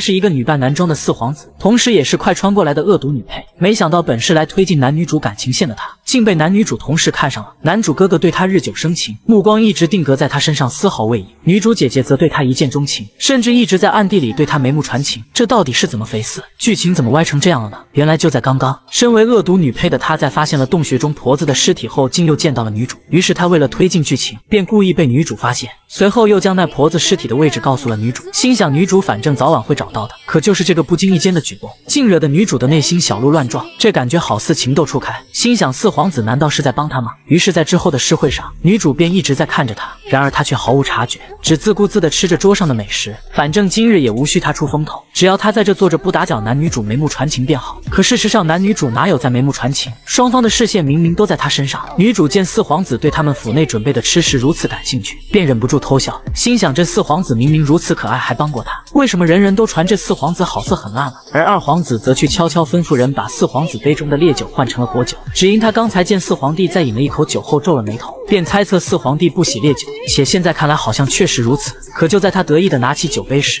竟偶然发现这丞相府的大小姐一直在盯着他四皇帝看，且这神情应该是看了很久，难不成是瞧上他四皇帝了吗？这令他内心顿时冲出一股醋意。与此同时，四皇子也注意到了女主的视线，可女主见他发现后，却只是微微一愣，紧接着便端起酒杯对他笑了笑，这令他有些不明所以。可下一秒，他又看到了二皇子一脸阴沉的表情，便以为二皇子难道是怕他抢了丞相千金，所以吃醋了吗？是一个女扮男装的四皇子，同时也是快穿过来的恶毒女配。没想到本是来推进男女主感情线的她，竟被男女主同时看上了。女主看他的眼神泛着花痴，男主则吃起了他的醋。可他却误以为男主是在吃女主的醋，于是便把杯中的酒一饮而尽后，暂时离开了宴会场。这样男主应该就能好好跟女主眉目传情了吧？可他明明只喝了几口酒，竟突然觉得头好昏沉，就连视线也开始变得模糊，身体摇摇晃晃。而就在他重心一个不稳，即将倒下时，身后竟突然冒出来了个侍女。只见这侍女。一把将他扶住，还贴在他耳边娇媚的轻喃道：“四殿下，您醉了，奴家这就扶您去歇息。”而在这不不经意间，他的玉佩竟从腰间滑落，掉在了地上。很快，他便被侍女带进了客房，而且还将他压在了身下。随后，就见侍女的手开始不停在他脸边摩挲，还用极其诱惑的声音对他说着：“四殿下，您看起来很难受呢，奴家这就来为您解解热。”随后便伸手迫不及待地解开了他的衣带。可没想到，在下一秒，四皇子竟强撑着最后一丝理智，突然用力掐住了侍女的脖子，因为他知道，倘若他的衣衫被解开，他瞒了多年的女儿身恐怕就要暴露。与此同时，在另一边的宴会上，二皇子见四弟都已经离开半天了，还没回来，便也离开了宴会，决定去寻四弟。恰巧这时他发现了在园中掉落的玉佩，记得这玉佩乃是四弟的贴身之物，怎么会如此粗心掉落在这里呢？是一个女扮男装的四皇子，同时也是书中的恶毒女配。这是他距离女儿身暴露最近的一次。重要的，他居然把自己的皇兄拉进了浴盆里，想要其为自己疏解，好难受，好想好想。二皇子则面红耳赤的盯着他，嘴里不停喃喃着不可，万万不可以。原来就在刚刚，四皇子竟被侍女下药压在了身下，想以此来毁掉他的清白，好让自己成功上位。可没想到，他竟强撑着最后一丝理智，掐住了这侍女的脖子，还把侍女直接给甩了出去。侍女被吓得落荒而逃，中途裙子还被门栏勾掉了一角。刚巧二皇子在花园寻四弟时听到了他们的声音，于是便循声赶来，随后就看到门口有女子的衣物在飘，这让他的脸顿时一红，心想四皇帝可真是胡闹，若是被父皇知道就糟了。于是他推门而入，没想到看到的竟是四皇帝整个人倒在了地上，难道是受伤了吗？可当他将四皇帝抱起时，又发现了不对劲，四皇帝身上好烫，就像是中了药般，且四皇子自被抱起后就不停往二皇兄身上贴，嘴里还不停喃喃着好凉，好舒服。二皇子知道四皇帝现在这个样子绝对不能让别人看见，于是他的视线便落在了一旁的浴盆上，紧接接着便吩咐暗卫去准备些东西看好人。随后，一件干净的换洗衣裳和一盆凉水就都备好了。二皇子抱着面红耳赤的四皇帝说了声抱歉，冒犯了。可正当他准备将四皇帝放进水盆时，四皇帝竟突然将他一抓，导致两人一起跌入了水盆中。此刻，二皇子心跳的极快，四皇子则在他身上到处乱摸，而且嘴里还不停喃喃着好难受，好想好想。而他则盯着四皇帝面红耳赤的不行，嘴里也不停喃喃着不可，四弟万万不可。他是一个女扮男装的四皇子，同时也是书中的恶毒女配。原本小心翼翼隐藏了自己的女儿身十八年，没想到这次居然要暴露了。只见重要的他一把将二皇兄拉进了浴盆里，想要其为自己疏解。好难受，好想好想。二皇子则面红耳赤的盯着他，不可，万万不可以。突然间，他竟将二皇子翻了过来，压在了身下。眼看着两人的唇瓣即将贴上，没想到下一秒，四皇子竟倒下晕了过去，而二皇子的心脏依旧跳得很快，看着怀中的人儿面红耳赤的模样，心想四皇帝方才肯定是药效发作了才那样的。突然间，门口传来了一阵护卫和女子的吵嚷声：“大小姐，您这是要去哪？退下，不准跟着我！”二皇子听到后，立刻警惕地将四皇帝护在怀里。听声音，应该是这丞相府的大小姐王璃月。果然，王璃月正在这附近左顾右盼地找着谁。原来是他心仪四皇子。见四皇子离开宴会多时，往这个方向来了。便好奇地追了上来，只是一直没找到四皇子的人影。突然面前一道黑影闪过，他立刻回头大喝了一句什么人，结果就看到二皇子提着剑一个闪身朝他挥了过来。好在他反应灵敏避开了，可二皇子的袭击却让他觉得十分奇怪，问其来此处干什么，而且浑身还湿成了这样。二皇子则借口说自己乃是不慎落水误入此处的，非礼勿视。王小姐可还有什么要交代的吗？而王璃月本就对这二皇子没什么兴趣，只问了一句可有看到四殿下吗？见二皇子摇了摇头，他便转身离开了这里。毕竟听闻。四皇子和这二皇子一向水火不容，既然二皇子在此处，那四皇子应该是不在了。而等他走后，二皇子便转身回了屋内。本想着四皇帝体弱，需尽快换上干净的衣服，可没想到刚一进门，竟发现内里早已空无一人。突然侍卫告诉他，四皇子方才醒来后便自行离开了，问要不要追。而他眼眸沉了沉后，便跟侍卫说了句不必，四弟无事便好。与此同时，丞相府的后花园内，那个先前给四皇子下药的侍女竟遭到了一个人的追捕。只见她满脸惊恐，眼看着那人朝她越靠越近。是一个女扮男装的四皇子，同时也是书中的恶毒女配。没想到身中媚药时的他，竟差点把自己的二皇兄给非礼了。好在丞相府的大小姐无意间闯入了这院子，二皇兄留下他独自出门应对，才让他躲过了一劫。不然他若是在二皇兄面前暴露了女儿身，麻烦恐怕是源源不断的。而他在浴盆的冷水中泡了一会儿后，便恢复了些意识。但若二皇兄折返回来的话，他的身份还是会有暴露的危险。于是他便立刻拿起了一旁的小刀，在手心划了道口子，一阵强烈的疼痛感瞬间占据他的神经。这样的话就清醒多了。而另一边，皇贵妃刚收到了他们陷害四皇子计划失败的消息，只见侍女跪在地上，一个劲儿的求饶解释，称那四皇子确实是中了药，而且那药必须得有过肌肤之亲后方可缓解。依四皇子那一向好美色的性子，肯定是把持不住的。不知为何会这样。皇贵妃听后大手一拍，恶狠狠地朝着侍女大声骂了句废物，紧接着便打算出门，可没想到门口竟停着一辆马车，好似已经恭候他多时。于是他好奇的前来探了探，竟看到他派出去魅惑四皇子的侍女被绑在了车厢内，而且还被折磨得十分难看，这可把他吓得连连后退。而在入夜后，二皇子的府邸内，二皇子自从丞相府回来后，便一直把自己关在房内誊抄经文，烛火添了一盏又一盏，经文也是抄了一遍又一遍。可这么多修心养性的经文，却还是无法平复他的内心，因为今早与四皇帝相识的那一刻那一秒，实在让他久久无法忘怀。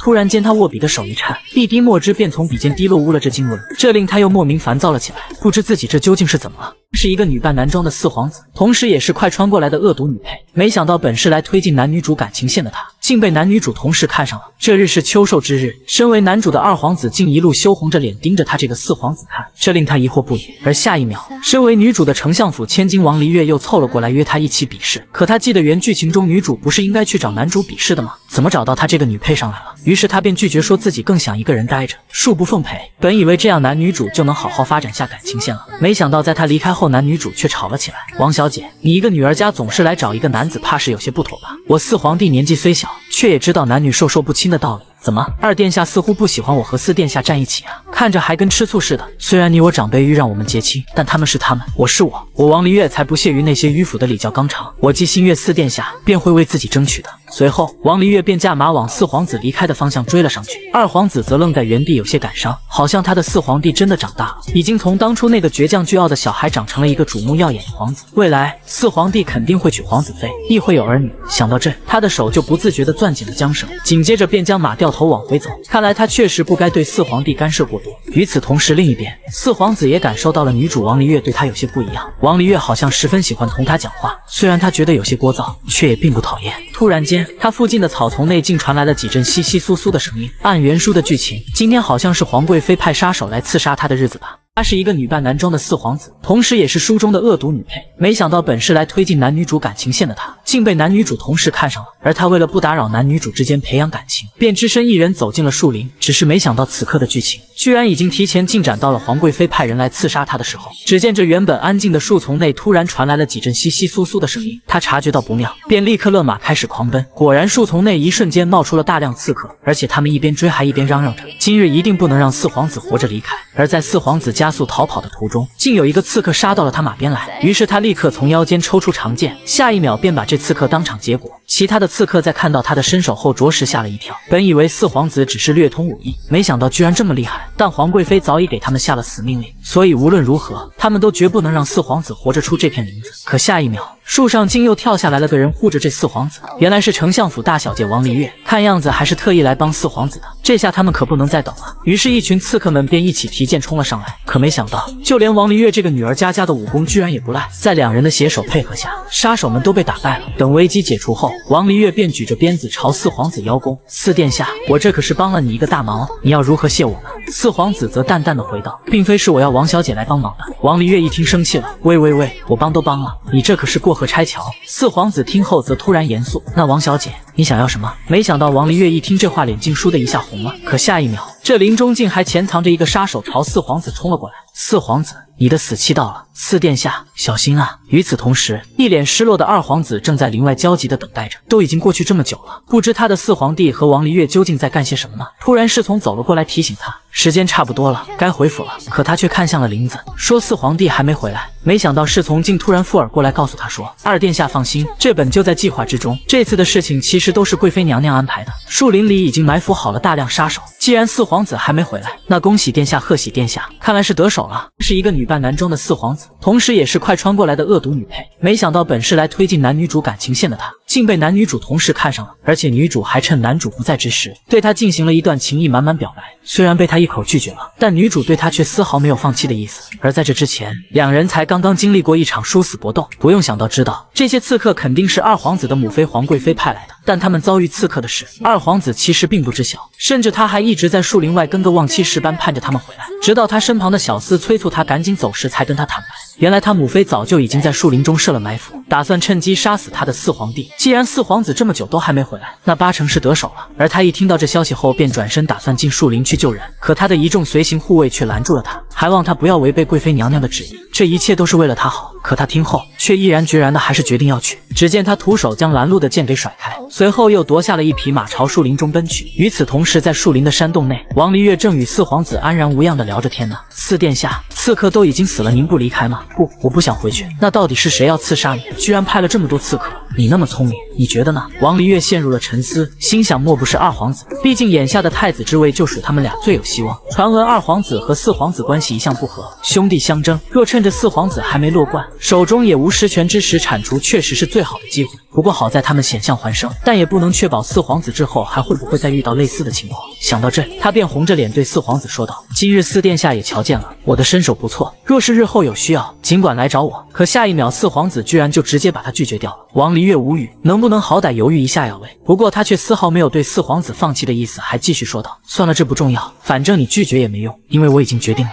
无论是上刀山还是下火海。”什么危险我都愿意为你闯。四皇子一愣，不知女主为何要对他这样好。可这时附近竟传来了一阵马蹄声，两人便迅速警惕了起来。而这马蹄声当然是来自于二皇子的。只见他驾马骑得飞快，握着缰绳的手还不停有血渗出，可他却丝毫感觉不到疼。特别是在看到这成片的刺客尸体后，更加担心四皇帝的安危了。也不知道四皇帝现在人还好不好，受伤了吗？严不严重？而下一秒，他便在一个洞穴门口看到了四皇帝的身影，他是一个女扮男装的四皇子，同时也是书中的恶毒女配。只是没想到，本是来撮合男女主感情线的他，竟被男女主同时看上了。可他却依旧在按照原剧情走，甚至把男主对他的心意故意贬得一文不值，还误以为男主特意大晚上的进山来找他，肯定是因为害怕他跟女主发生些什么而吃醋。可实际上，男主二皇子自始至终担心的一直都是他，哪怕不顾生命危险跑到树林里来，也是为了来确认他的安危而已。只是因为王离月一直站在他身边，二皇子的脸才阴沉了下来，害怕他们孤男寡女在这山林里待了这么久。会不会发生了什么？可他却以为二皇子是在吃他的醋，害怕他泡走了女主，让其惨失心上人。于是他便故意说道：“二皇兄的脸色这么难看，难道是看到我没死太失望了吗？”这话顿时刺痛了二皇子的神经，让他明白了，终究是自己自作多情。抱歉，原来四皇帝是正和家人在此乐不思蜀啊！只是没想到王离月一听这话，竟不服了。二殿下，你可不要平白污蔑我们，我们目前可都还是清清白白的。可这话却让人听得有些奇怪。什么叫目前？什么又叫清清白白？难道只要过段时间，他们就不是清白的了吗？想到这，二皇子竟不自觉地朝四皇子缓缓走了过去。四皇子皱眉，不知道其究竟要干什么。好在这时，四皇子的侍卫们带着火把终于找了上来，见他身上有血，便恶狠狠地转头质问二皇子这是何意。可他竟摆了摆手，自己对侍卫解释了起来，说这并不是自己的血，都退下吧。更何况众目睽睽之下，二皇兄怎会对自己不利呢？而这话显然又一次刺伤了二皇子。的神经，虽然他明知道这些杀手都是皇贵妃派来的，却偏偏故意这么说。而当他走时，王离月还兴奋地跟了上去，这让匆匆赶来救人的二皇子就像个小丑般，在被人戏耍完后就抛下，而他手上的伤口还在不停渗血。此刻前来寻他的下人们也到了，只是见他低沉着脸，许久未动，才没人敢说话。而当他一抬头时，便对下人们吩咐道：“都听着，今日四皇子和丞相府小姐一同待在山洞里的事，谁都不许传出去。如果谁走漏了一丝消息，杀无赦。因为这事若传出去，让王离月的名声。”有了损失，丞相定然会让他的四皇帝娶了王王离月。不行，不可以，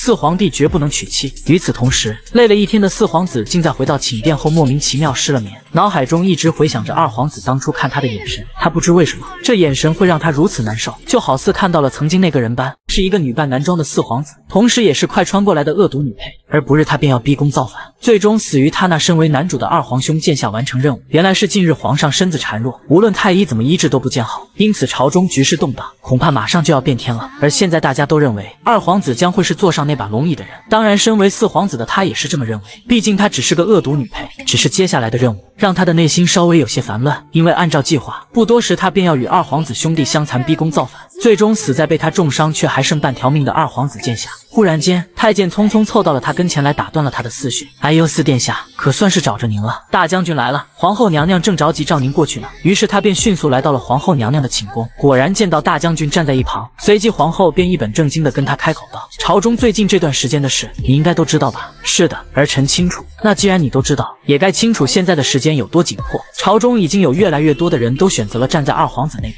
你的父皇则在昏迷。我我们不能坐以待毙，等到他醒来后宣布继位人选。”此刻大将。军也附和道：“没错，若是继续放任下去，二皇子继位便是板上钉钉的事。与其等二皇子继位找我们秋后算账，不如现在搏一搏。”随即，大将军就对皇后使了个眼神，皇后这才说出了那句大逆不道的话：“七日后，我们逼宫上位。”虽然四皇子早就已经知道了这个结果，但在听到有人在他耳边亲口说出来时，还是有些讶异的。而在接下来的几天中，他便老往郊外跑，因为他总觉着宫中烦闷，想出来透透气。随后，他又看向了屋内那张摆放已久的皇城布防图。虽然他明知自己注定失败的结局，却还是在认真部署。可忽然间，王离月竟从门外闯了进来，而且还看到了他桌上放着的皇城布防图。聪慧的王离月当然知道这意味着什么，只是下一秒。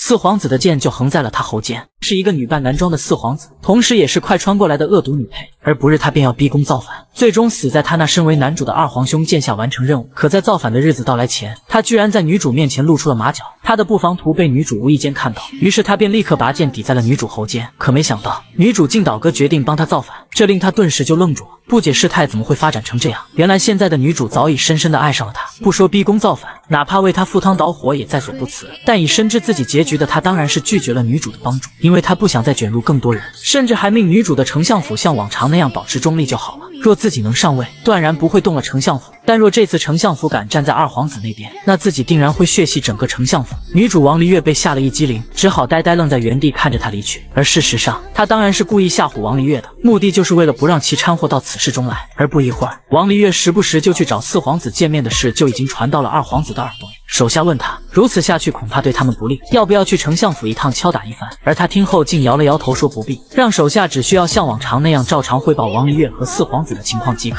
手下疑惑，不知他为何不。管不顾，说丞相府对他们而言可是一大助力，若是被拉到四皇子那边，可就不妙了。没想到二皇子听后，竟冷冷地瞪了手下一眼：“闭嘴，你只要听我的命令就好。”手下这下不敢说话了。二皇子则又继续失落地看着天上飘下的雪，他想知道四皇帝要的究竟是什么，是江山还是美人，亦或者二者都要。而在这三日后。四皇子便以清君侧为由，率领了十万军队冲进皇宫，宫内士兵死伤惨重，所到之处一片狼藉。很快，城中候着的将将军便接到了条好消息，称四殿下已经带着死士攻到二皇子和皇上所在的寝宫了。是一个女扮男装的四皇子，同时也是快穿过来的恶毒女配。此刻的他已经借着清君侧为由，逼宫造反，一路打到了宫内。而他在这个世界中的最后一个任务，就是造反后死在他那身为男主的二皇兄剑下。可他明明已经将这宫外搅得血雨腥风了，二皇子却还在寝宫伺候那年迈体衰的皇上。但无论他如何给皇上喂药，皇上还是迟迟无法转醒。于是他便拿着汤药问太医：“这药明明已经给父皇服用了好些时日了，怎么还不见好转？”太医被吓得浑身哆嗦，支支吾吾的不敢说话。忽然间，那装着汤药的碗摔碎在了地上，太医只好连连求饶：“二殿下饶命，二殿下饶命！微臣这一辈子为皇上鞠躬尽瘁，只想留条命告老还乡啊！”二皇子沉默。可这时，一个侍卫又闯了进来，说：“大事不好了！四皇子已经带着叛军将这里包围了。”二皇子听后脸猛地一沉，太医则已经瘫坐在地上喃喃着完了。忽然，二皇子竟从太医身边擦过，顿了顿，让太医好好守着父皇，不会死的。太医一怔，紧接着就见二皇子快速离开了寝宫。与此同时，寝宫门口，四皇子带着大队人马还在风雪中苦苦等待。副将甚至都已经忍不住了，建议他直接强攻进去吧。可他却迟迟不下令，一直低沉着眸子回想着一路杀过来时众人的尸体。虽然他们对他来说只是 NPC，但当这些血淋淋的画面映在眼前时，他的心还是会有些触动。突然间，有士兵传来急报，称二皇子方才突破了后门的守军逃走了。而他一听，就立刻勒马追了上去，命令所有士兵原地待命，违者杀无赦。与此同时，二皇子正浑身染血的站在雪地中仰望天空。忽然一阵马蹄声在他背后响起，他愣愣的回过头，四弟。你终于来了。胸口被刺了一剑，却恨不得将这天下最好的一切都奉给对方，哪怕他早就知道同为皇子的他们必有一天会刀剑相向，他却打算用生命成全对方。可他不知道的是，他的四皇帝其实是个女扮男装的女子，也是一个快穿过来的恶毒女配。系统要求其造反抢夺皇位，所以四皇子才会处处与他作对。但任务的最终要求是要其在造反后死于身为男主的他的剑下。这夜的雪下得很大，只见四皇子骑马追到了他跟前来警告道：“放弃吧，我的人已经包围了这里，外面还有大批军队。”你最好主动放弃皇位，省得今夜再惹得更多人死伤。可他听后却一脸淡定地问道：“四弟，你是当真想不惜一切代价要这皇位吗？”四皇子斩钉截铁地回道：“说是。”二皇子便突然垂下头，苦笑般勾了勾唇角，紧接着就抬起了手中的剑，指向四皇子：“想要，那便胜过我吧。”四皇子的脸沉了沉，随即便翻身下马，与二皇子打了起来。两柄剑刃在半空中激烈回响，是时候结束这一切了。只见两人的剑锋几乎在同一时间朝对方的胸口猛刺了上去。四皇子身形娇弱，手臂也较二皇子短，按理来说他是必败的。可没想到，随即倒下的竟是二皇子。原来是二皇子刚才故意放水，将剑回缩了。随着宝剑当啷落地，二皇子便拖着疲惫的身体向他认输：“四弟，你赢了。”可他的瞳孔里却没有丝毫胜利的喜悦，只有满眼的震惊，因为按剧情的发展。死的应该是他才对啊！而且二皇子接下来所说的话也让他更疑惑。其实我早已做了决定，你想要什么，我便给你什么，只要你停手，别再背负罪恶。何止区区一个皇位，我恨不得将这天下最好的一切都为你双手奉上。可四皇子记得，他明明从小到大都在跟二皇子作对啊！二皇子不是应该恨他的吗？为什么二皇子的眼眸中没有丝毫对他的恨意呢？突然间，一根箭矢朝他们射了过来，随即就听二皇子大叫了声：“四弟小心！”是一个女扮男装的四皇子，同时也是快穿过来的恶毒女配。为了终有一日能死在男主的剑下完成任务，他从小到大一直在跟男主作对。可没想到，今日他都已经逼宫造反，杀到男主跟前了，男主竟还不愿对他下杀手，而且还自愿被他刺了一剑，连皇位都心甘情愿为他奉上。本以为这任务恐怕是要完不成了，没想到远处竟有一个男主的手下朝他射了一箭过来，于是他便趁此机会让剑刺进了自己的胸口。虽然这死法和原定的任务要求有所偏差，但死在男主手下的剑下也算勉强完成了任务。随着他单薄的身子倒下，皇城的卫兵们便大叫了起来，让二皇皇子快走。可二皇子却夺过了一把剑，反向朝四皇子那边冲了过去。挡路的人都被他一刀结果。而这时，皇城卫兵和四皇子带来的兵已经开始厮杀了起来，双方打得格外激烈。而他在这混乱的兵马声中，竟还在不停地朝他的四皇帝走去。虽然下一秒他也因伤势过重跌倒在了雪地里，但他的双眼却还一直盯着四皇帝的身体。他不敢相信，四弟平时那么天不怕地不怕的人，现在居然也会变得这么安静。雪好冷，四弟一定也很冷吧？那他要再快一点。再快一点来到四弟身边，可他才刚触碰到四弟的发丝，就已经到了身体的极限。而且失去意识前，他还在心里跟四弟道歉：“对不起，四弟，是我没有保护好你。”突然间，不远处好像有人不停在叫着四皇子的名字，于是他迷迷糊糊的睁开了眼，原来是王璃月。是一个女扮男装的四皇子，同时也是快穿过来的恶毒女配。这日，他终于在男女主面前坦白了自己女子的身份，不过却已经奄奄一息，无力回天了。原本该嫉她如仇的女主，此刻竟抱着她哭成了个泪人。该视她为死敌的男主，哪怕在昏倒的前一刻都拼命想要护着她。而刚完成悲惨女配任务的他，则以灵魂体的形态在天上看着这一幕，想不通这人人都斗得你死我活的皇室里，怎么会有这般傻的人？更想不通他现在心口的位置。又为何会这般疼？这夜，整个皇宫血流如注，死伤无数。最终，以四皇子为首的叛军惨败收尾，至此皇后一党彻底没落。而在之后的半个月里，宫里的人便一直在讨论一个奇怪的事：明明是四皇子造反被诛，二皇子却非但不封了四皇子的寝殿，反倒醒来后日日来到四皇子的殿内一待就是一日。而且二皇子还不允许任何人乱动里面的东西，虚的维持四皇子在世时的模样。宫人们对此都疑惑不解。记得二皇子不是一向跟四皇子水火不容的吗？这到底是怎么回事呢？而且且。自宫殿那晚，丞相府千金王璃月带着四皇子的尸体逃出了宫后，二皇子就一直在命人追捕，不眠不休。有人说是二皇子要鞭尸泄愤，也不知道真正的原因究竟为何。终于这日，在四皇子房内专心致志画眉的二皇子收到了王璃月的消息，说是已经找到王璃月了，可却在把王璃月带回来的路上被他母妃给截胡了，现在人正关在死牢里呢。他是一个女扮男装的四皇子，同时也是快穿过来的恶毒女配。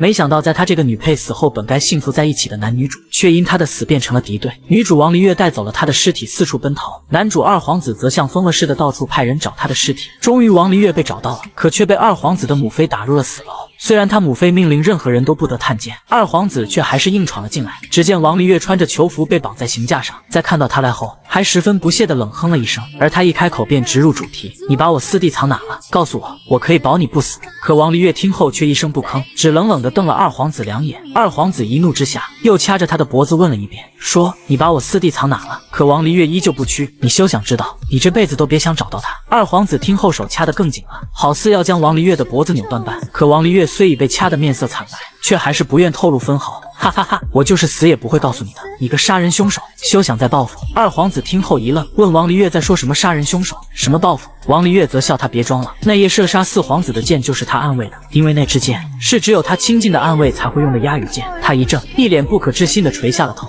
王璃月则继续对他吼道：“没错，就是你！四皇子明明只是个女子，又岂会真当了太子争夺你的皇位？”二皇子听后再次一怔，仿佛有人在他伤口上撒了把盐般。他终于知道了，难怪他的四皇帝从小无论。伤得多重都不愿找医，难怪他的四皇帝身量虽看着修长，却不及同龄男子；难怪他的四皇帝虽生的俊美，却过于英勇。难怪呀！想着想着，他猛地咳出了口血。突然，他的侍卫跑了过来，称皇上正在召他过去，怕是要定下那件大事了。他听后抹干了唇边的血，随后便摆了摆手，下令让人放了王璃月。王璃月一脸讶异，直到四皇子缓缓开口道：“我放了你是有条件的，四弟他这辈子过得最是拘束，烦请你将他安葬在远离皇城的地方，下辈子可以当个自由自在的女儿家。”王璃月疑惑，心想这二皇子好似和传闻中的不太一样，不仅在关心着四皇子，还因四皇子而吐了血。莫非那暗卫并非是二皇子？派的吗？想到这，他突然叫住了即将离开的二皇子，说自己有话要说。是一个女扮男装的四皇子，同时也是快穿过来的恶毒女配。为了能让男主讨厌并杀了他这个反派，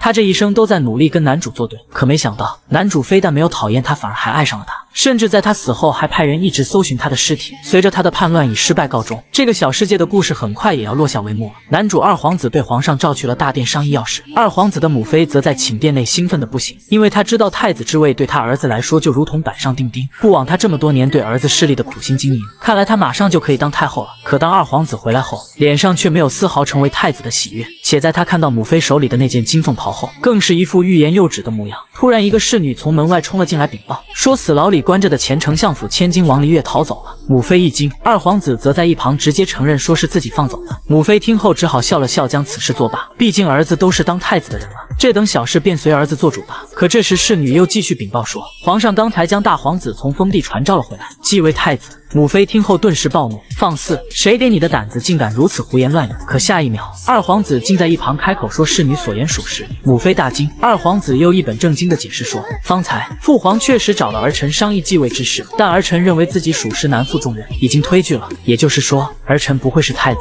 母妃你也不会是太后。母妃听后暴跳如雷，指着他的鼻子骂道。你疯了！皇上既然有意将太子之位传给你，你为何要拒绝？终于，二皇子说出了母妃一直以来隐藏的最深的秘密。母母妃，你不要再装了。在儿臣十岁那年，父皇寿辰那日，你回寝殿后便遣开了所有随侍的宫女，看上去很不开心。儿臣很担心你，便想去房中找你。而那一晚，儿臣知道了此生最大的秘密，就是儿臣其实并非皇家子嗣。母妃啊，母妃，你背地里做了许多错事，有对无辜宫人的，对大皇兄的，对四皇帝的。儿臣并非不知，只是思及你这些年在宫中强颜欢。欢笑的苦楚，又顾念着母子之情，所以愿意替你赎罪。但你却一错再错，不知悔改，亲自断了我们之间的母子情谊。儿臣只是把你欠大皇兄的还了罢了。你若是不再乱来，现在的荣华还可保住。可你若是非要去谋夺一些不属于自己的东西，那就别怪儿臣大义灭亲了。这番话把他母妃吓得瘫倒在地。而在一个月后，皇帝驾崩，大皇子继位，原本被给予厚望的二皇子退居成了摄政王，威信依旧。朝中大臣们均不敢触其逆鳞。在二皇子的辅佐下，江山得到了长久的安稳和太平。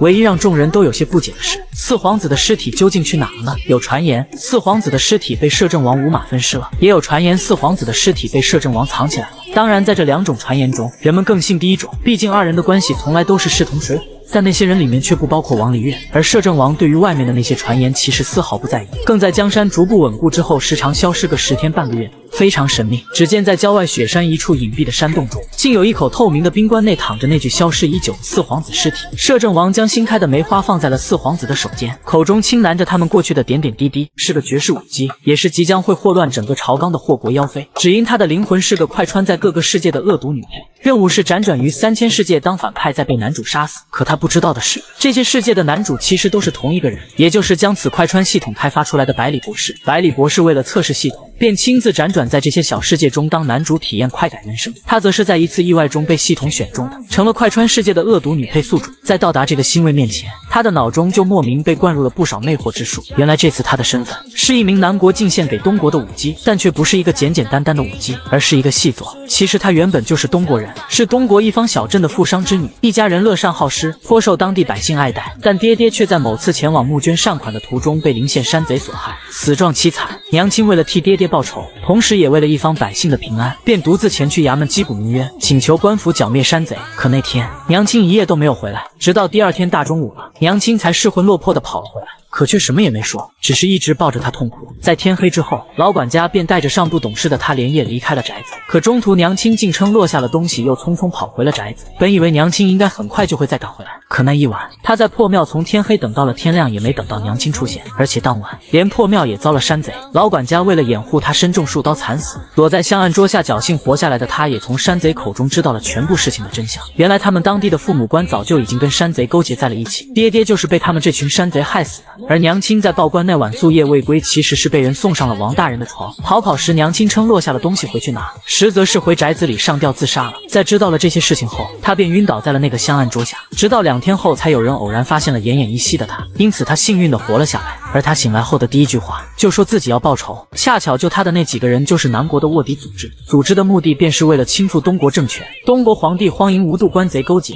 因为他憎恶那里的一切，便自愿加入了南国的卧底组织。更阴生的貌美。从小被特殊培养，只等今日作为南国进献的舞姬回到东国，魅惑皇帝，祸乱朝纲。此行他的任务也和以往一样，一共有三：第一是在回程途中魅惑当前位面的男主国师大人，让国师讨厌他，立稳祸国妖妃的人设，因为皇帝就是在国师的管制下才不至于荒淫无度的；其二便是魅惑东国皇帝，让君王从此不早朝，病中慢性毒药而死。其三则是与南国卧底组织里应外合刺杀东国贪腐高官，让东国彻底无御敌之力，为爹娘报仇。唯一不一样的是，他这次不用再死在男主手下了，因为他的结局是在冷宫自杀，所以不计入任务。此刻他前面轿子里的白衣男子便是国师大人，也是此次东国至南国出使的使团长。据说国师来自神山，至今已经活了数百年，不老不死了。小能算人之福兮祸兮，大能算国之兴衰，很是受人尊崇。于是到了夜晚，待所有人都扎营歇息下了时，他便趁着国师在附近巡逻的片刻，故意撩开帘子走了出来。随着面纱被风吹走，他淡淡的开口道：“哎呀，我想走走，我的侍女呢？你们有人看到他们了吗？是个舞姬，也是即将祸乱整个朝纲的祸国妖妃。为了日后能更好的魅惑东国皇帝，他决定先在回程路上将国师给攻略下来。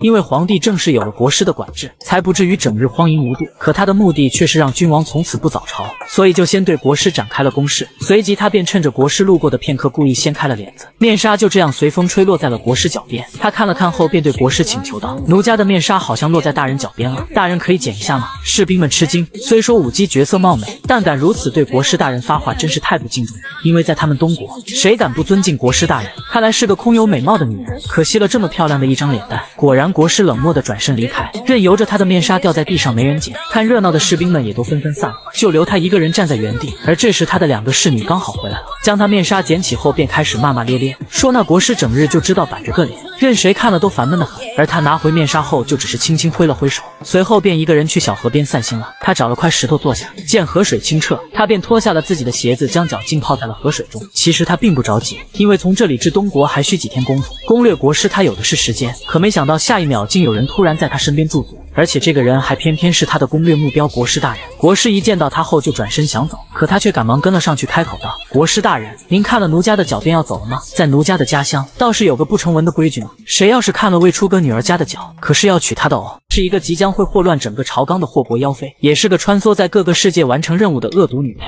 在原先的几个世界中，哪怕两人是第一次见面，男主都明显对她抱有好感，可在这个世界里，男主却对她实在冷漠。可偏偏他的其中一个任务就是魅惑身为男主的国师大人。面对国师的油盐不进，他只好步步紧逼。谁料国师竟冷言命令他退开五步，他不听，国师便直接用袖子隔开了他们之间的距离，只留下了一句自重就离开了。他感到无趣，看来这个世界的男主有些独特的小脾气。算了。他还是继续泡脚吧。做任务要学会劳逸结合，他也不打算追了。而在此之后，他们又赶了整整三天的路，路上吃的不是硬邦邦的干粮，就是野味烤肉，就糕点勉强还能入他的口。可就在他正悠闲的在车内享受着下午茶时，马车竟突然一震，原来是附近的山匪打劫来了。山匪见他们这支队伍看着还挺有钱，便想好好宰一顿，而他则小心翼翼地撩开了帘子往外一看，原来这群山匪的匪头就是当初造成他家悲剧的山匪之一。虽然这些山匪的战斗力不弱，但他们这皇家使团却更胜一筹，要打起来，山匪肯。定讨不到任何好处。这时，一位兵还站了出来，好心对山匪们警告道：“此乃国师的车驾，尔等速速退开，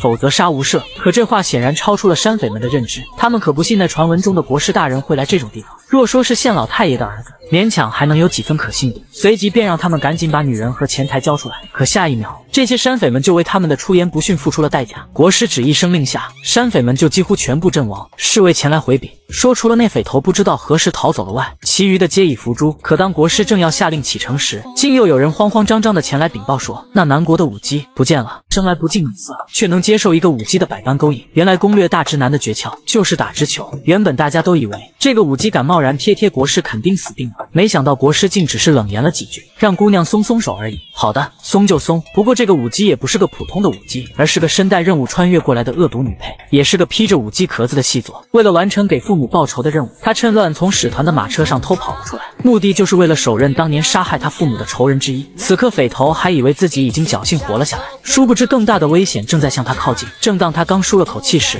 一阵诡异的铃铛声就在他身后响了起来。下一秒，一道刀光就抹断了他的脖子，干净利落，完。成任务的武姬一脸淡定的看着地上的尸体，难过杀个人，竟然把他好不容易藏的贴身武器给弄脏了。而下一秒，林中又传来了阵阵呼喊声，原来是使团的人找到这边来了。不过见半天都没看到人影，国师的侍卫便忍不住问舞姬的侍女：“你们刚才当真看到你们主子的身影了吗？”侍女笃定的点点头。国师便下令继续找，找不到人就一直找。突然，他们身后的草丛传来了一阵窸窸窣窣的声音。国师察觉到动静后，立马回头，结果见到的竟是舞姬扑了上来，环住了他的腰。国师大人，您可算来了，奴家好害怕呀！所有人都以为国师被一个女子这么抱着，肯定是要生气了。谁料国师竟只是冷言了几句，让姑娘松松手。侍女实在震惊，没想到这冷面国师居然没生气。随后国师便开口问武姬，先前为何不好好待在教中，而是跑到了此处？武姬则装作楚楚可怜的样子回道：“说方才山匪来袭时自己害怕，便忍不住想躲起来。虽然这理由听着并无道理，但国师却总觉得怪怪的。”活了百年。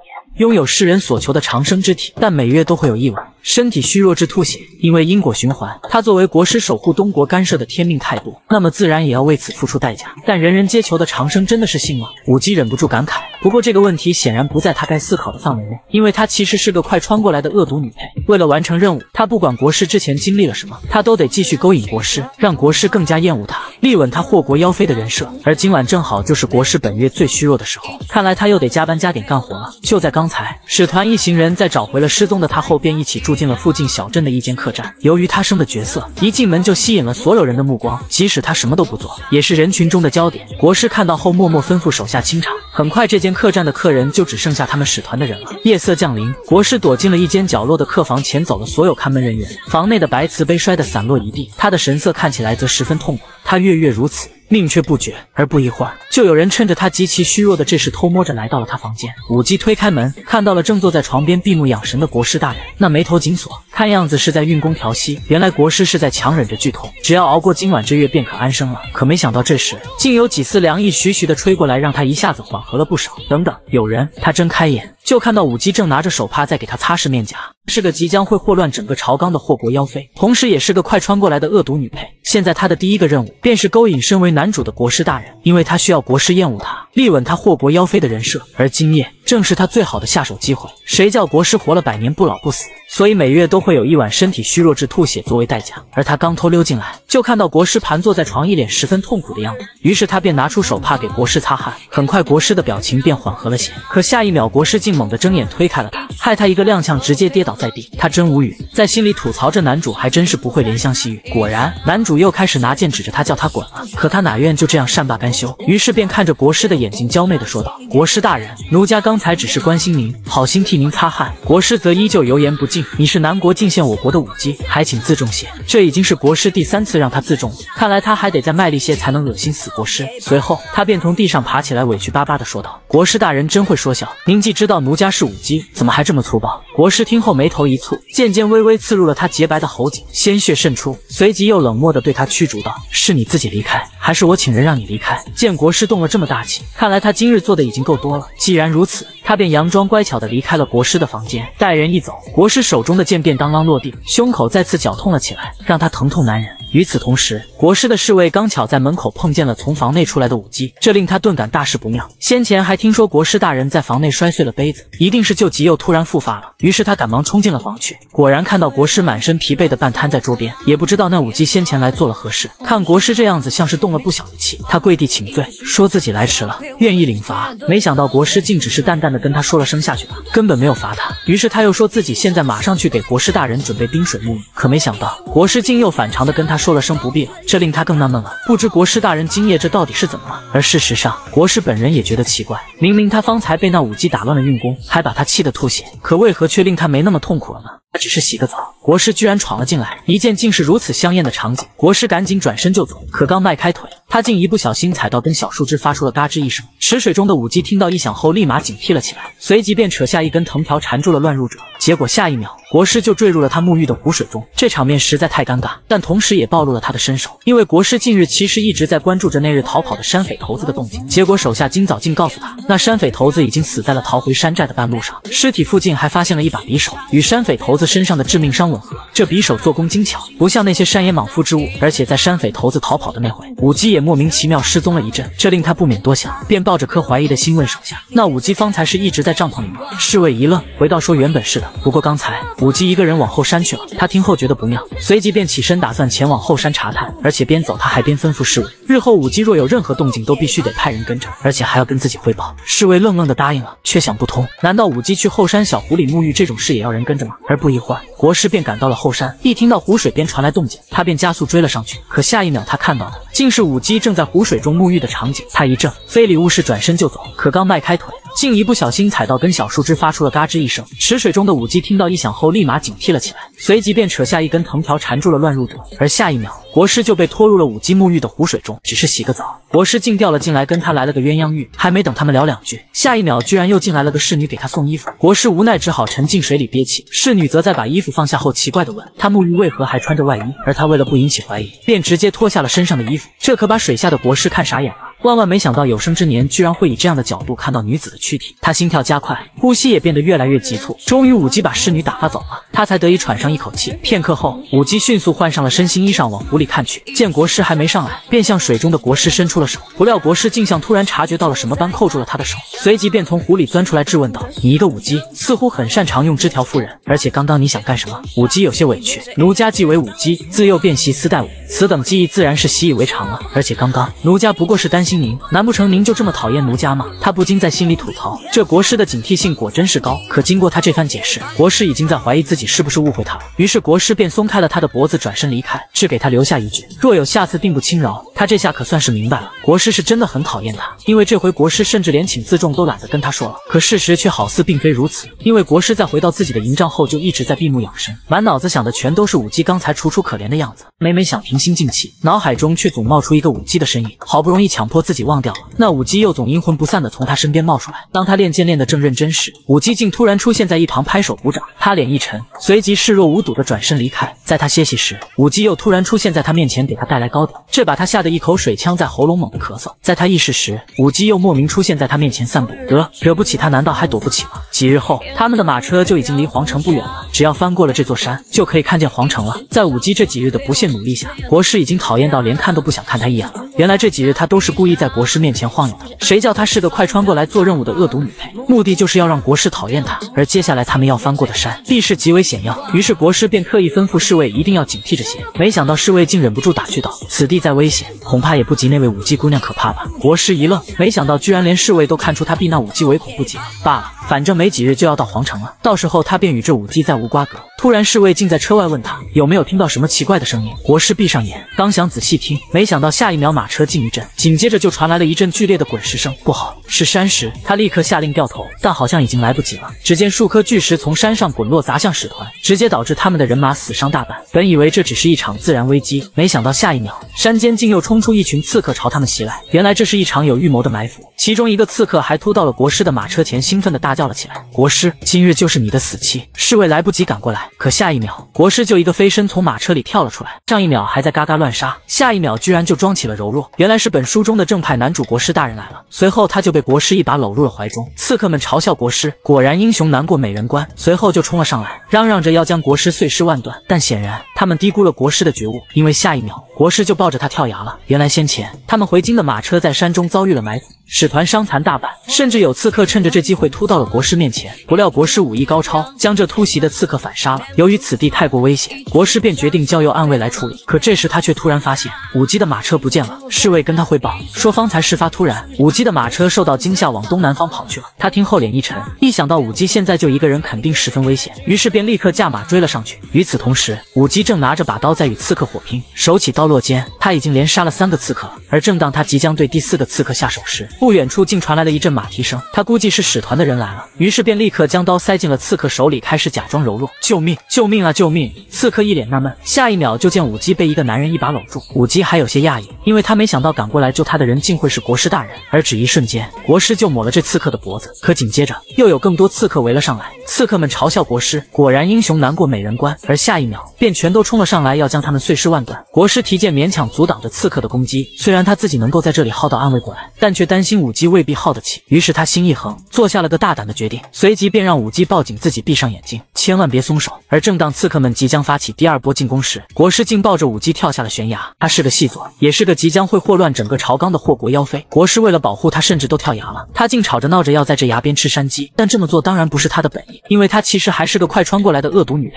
任务之一便是要让身为男主的国师大人讨厌他这个女配。而自他们掉下山崖后，他就一直在装睡，连系统都忍不住问他还要再装多久。已经过去半个时辰了。不过令系统也感到疑惑的是，原剧情中这段应该是暗卫救了重伤的他，可现在却变成了男主国师亲自来救他，不知是出了什么问题。忽然国师回头看了他一眼，将外衣披到了他身上。他顺势醒来，问国师大人人这是怎么了？国师就立刻切回了先前那副冷冰冰的模样。此地没有你的侍女，若你着凉了，我嫌麻烦。他听后谢过了国师，国师就又接着闭目养神了起来。可过了一会儿，他竟开始躁动不安的在这洞中走来走去，身上叮铃铃的铃铛声吵得国师难以静心。国师强忍着怒意问他这是怎么了，他便捂着肚子委屈巴巴的说道：“大人，奴家肚子饿了，也渴了。”国师告诉他，边上有条小溪，渴了便去喝水。至于吃的，得要忍过今晚，明早应该就会有人过来接应。可他听后却开始挑剔了起来，说这山中肯定会有野兔、野山鸡什么的吧？不如国师打一只回来喝水的话，这山里应该有露水吧？国师听得脸一黑，什么露水，什么山鸡？这女人当是来出游的吗？他猛地站起，转身离开。武姬见此后，便一个人缩回了小角落。估计国师现在嫌弃他，嫌弃的牙痒痒。今晚他得一个人在这饿肚子了。可片刻后，一只山鸡竟落在了他跟前。没想到国师刚才竟是去抓山鸡了，牛逼！可他看着这被抓回来的山鸡，却没有丝毫动静。国师皱眉问他怎么了，不是要吃吗？而他竟一脸无辜的表示：奴家，奴家不知道怎么处理山鸡。国师服了，只好深吸一口气，先强迫自己冷静下来，随后便拿起了那只山鸡，亲自料理了起来。他总觉得国师这反应好像有些不太正常，难不成是国师自己其实也想吃山鸡吗？他一次能拎六袋米，在男人眼里却还是个小菜鸡，肩不能扛，手不能提，不能凶也不能挤。而在刚刚，一向都是被别人伺候的国师大人，居然为了他亲自去山里抓了只山鸡，抓完后还在小溪边处理了起来，只让他去捡些柴火回来。可他竟继续装蒜，问国师要捡什么柴火。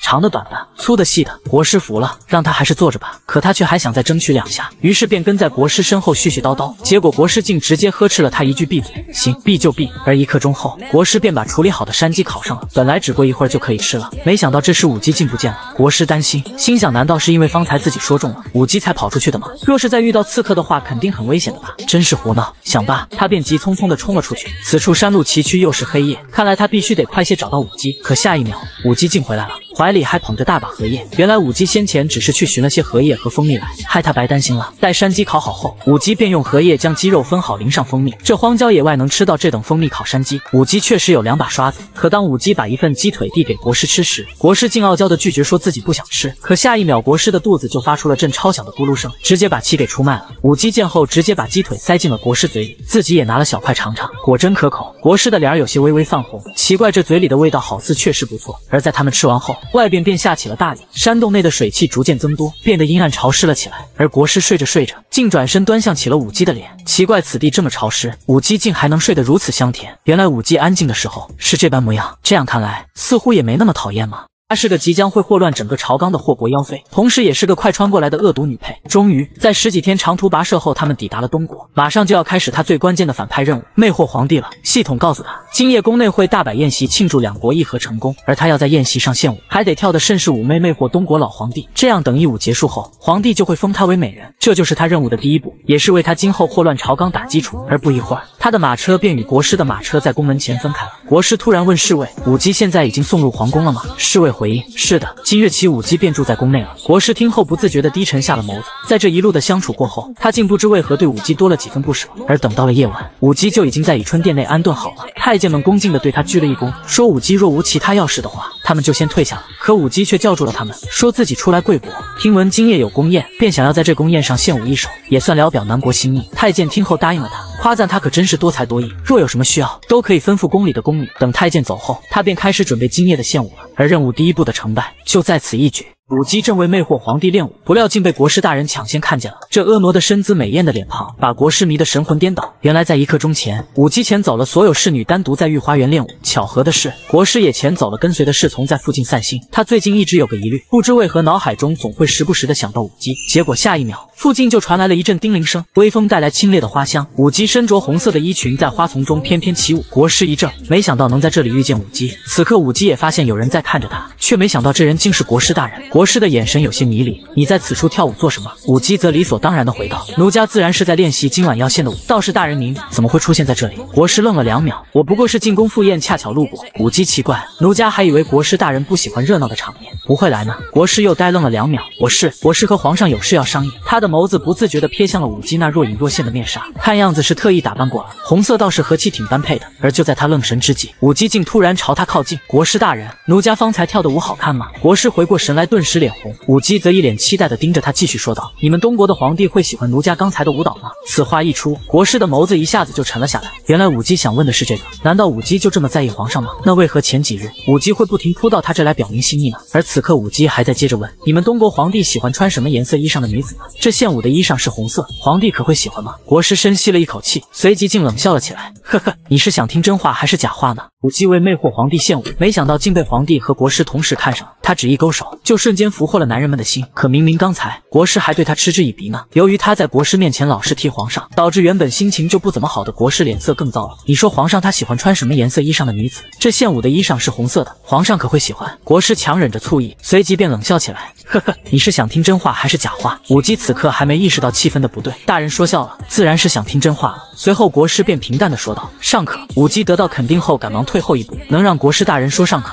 便已是不错了。既如此，奴家便安心先行告退了。国师冷冷地看着舞姬，在心里吐槽其秉性，不过是供人取乐的戏子而已。见谁权位更高，便喜欢谁，想罢他拂袖离去。评价舞姬的喜欢廉价且不可信，同俗人无异。很快，宫宴便开始了。东国皇帝坐在主位上，向国师举起酒杯。此番与南国议和和成功，避免了两国战乱。国师功不可没，朕为东国谢过国师了。然而国师却对高高在上的皇帝十分冷淡，只淡淡压了口酒后就没下文了。不过皇上早已习以为。常，因为这臭算命的平日里本就对他脸色淡淡，无所谓了。他大手一挥，招来舞女开始跳舞，嘴里还嚷嚷着东国国力强盛，南国贱民只配给朕为奴。随后他又让太监去把那今夜要来献舞的南国舞姬叫上来，表情明显有些迫不及待。就这样，南国舞姬被宣进了宫宴。叮铃一声，他一个回眸，就瞬间勾住了皇上和国师的心。伴随着音乐的奏起，舞姬在宴会中央舞了起来，只一勾手，在场男人们的魂儿就被他给抽走了。国师有些不爽，在心里感叹舞姬还真是用尽了浑身解数啊！一曲舞毕，舞姬摘下了面。纱对皇上祝贺道：“恭祝吾皇万岁万岁万万岁！”而皇上此刻还沉浸在刚才的美色之中。好在太监在一旁小声提醒了句，这才回过了神来。好好好，南国有心了。武姬见皇上上钩了，便继续进行成为祸国妖妃的第二步，昧着良心拍马屁。皇上，奴家在南国长大，自小便听说了您的威名，您治国有方，让东国兴旺不凡，就像天神一样。皇上被这番话夸得傻乐，当真？在你心中，朕既是如此。武姬则又变得一脸娇羞。奴家不敢说假话，皇上在奴家心中的确如此。其实奴家从。小便倾慕于您，只是奴家嘴笨，不知该如何表达。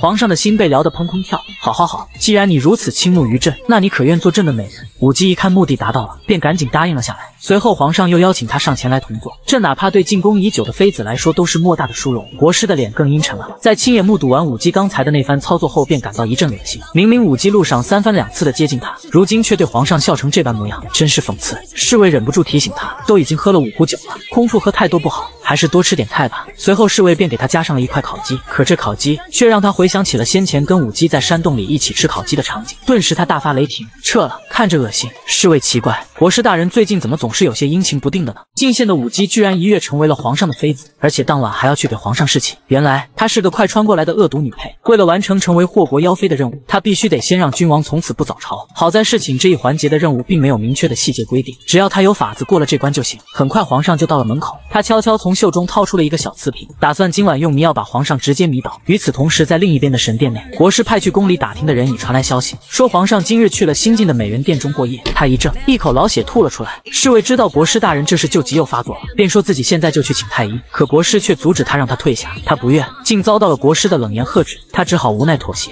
待侍卫走走后，国师踉踉跄跄地走到床边倒了下去。他感觉这次救急的发作好像比之前更加严重，胸口还不停传来阵阵刺痛。就这样，他痛苦地熬了一夜。次日一早，常伴皇上身边的徐公公居然跑到了舞姬房门前来。原来是一向早起的皇上上早朝都快来不及了，却还没起床，把公公急得亲自来寻了。侍女在门外轻唤娘娘，皇上该上朝了。房内的舞姬则不紧不慢的在故意把身上的衣衫拉松，有什么好催促的？皇上还未休息好呢。紧接着，舞姬又在自己的双颊上点上了些许红胭脂，这样看起来就更加有春宵一度满面红光的感觉了。此刻，皇上还在床上躺着做春梦，外衫则被脱下放在一边。为了伪造出更加激烈的承宠现场，他。把外衫扔在了地上，随后又撕裂了里衣。这下总归是差不多了。待一切都布置好了后，他便在皇上耳边摇晃起了铃铛，对其施加催眠术。现在无论他说什么话，在皇上醒来后都会以为这些话是真实发生过的。昨夜你宠幸了你心中的美人，你吻了她，你跟她激烈的玩了耍，而这一幕让原本一直淡定观察着他的系统坐不住了。系统记得，原主可不会什么催眠术啊，而且这种古老的催眠术，哪怕能搜到，都是需要有很强的精神力才能成功的，没练过的人几乎不可能成功。这么长的时间过来，系统确信他根本就没什么时间修炼精神力的，可现在却能把催眠术运用的这么熟练，这到底是怎么回事呢？突然，武姬所在的房门外传来了一阵喧闹声。国师大人，您不能进去，皇上和娘娘还未更衣。可国师却完全不顾任何人的劝阻，打开了门，眼神凌厉的瞪着房内衣衫不整皇上，说道：“皇上可记得此刻是什么时辰了吗？”武姬与皇上一夜风流，把国师气得狂吃飞醋。于是当日国师便警告皇上，若再天子嗣，便会乱了国运。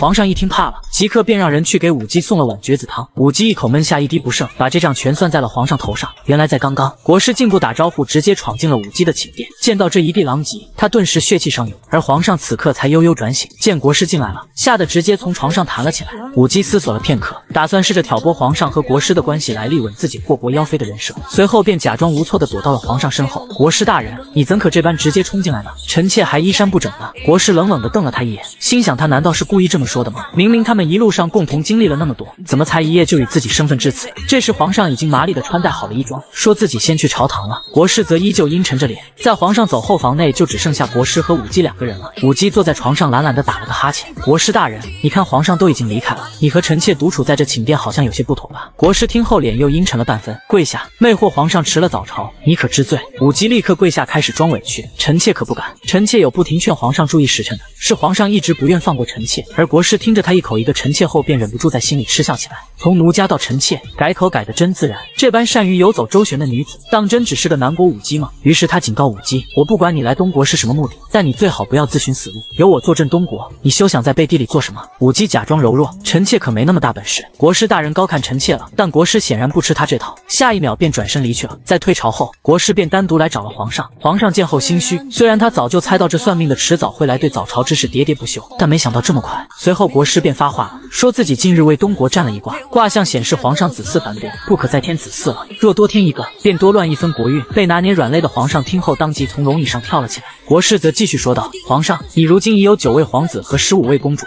九子夺嫡之事，皇上心里应该一清二楚。若再来一子，东国必乱。皇上这下是真被吓到了。于是，在半个时辰后，皇上身边的徐公公就把一碗能让女人今后再也生不出孩子的绝子汤端来了武姬这边。其实，对于武姬来说，绝不绝子的无所谓，反正她做任务也不可能真生孩子。但为了搞清楚这老男人的心里到底在想什么，他便豪爽的一口闷了这绝子汤。徐公公在心里感慨他的气魄。”居然能毫不犹豫的一口喝下这绝子汤。不过按徐公公的经验来说，这后宫也不是生不出孩子就一定晚年凄凉的，因为若自己生不出的话，抢别人的不就行了？她是个即将会祸乱整个朝纲的祸国妖妃，同时也是个快穿过来魅惑皇上的恶毒女配。自她被纳入后宫后，皇上果然腰不疼了腿不酸了，日日与她夜夜笙歌。但一旁的国师却快被气死了。见皇上对武姬这一脸痴迷的模样，手上的折子还一本没批。且这段时间因为皇上对武姬的独宠，导致后宫里的其他嫔妃几乎都见不到皇上的身影。传言有妃子寄信给家中的父亲兄长，让他们上折子提醒皇上雨露均沾，结果却惹恼了皇上，导致皇上把折子全部退回，继续照常宠爱武姬。终于武姬一曲舞完，表示先告退，皇上这才回过了神来，在注意到国师已经来找自己商议正事了的情况下，他竟还把武姬留了下来侦查，这再次刷新了国师的三观。没想到皇上现在聊正事都不让妃子回避。看来传言只有过之而无不及。皇上真的半刻都离不开武姬，而且没聊一会儿，皇上又递过来几本棘手的折子，想要打了他。随后又继续跟武姬甜甜蜜蜜，他想要驱赶武姬，没想到竟引得一向对他言听计从的皇上开始对他唱起了反调。无奈他只好放下折子，转身离去。看来皇上现在已被美色冲昏头脑，孰轻孰重都分不清了。按理来说，花无百日红，后宫的女人得宠永远会有个期限，但大家却不知武姬到底使了什么手段，导致皇上对她的独宠经久不衰。半个月后，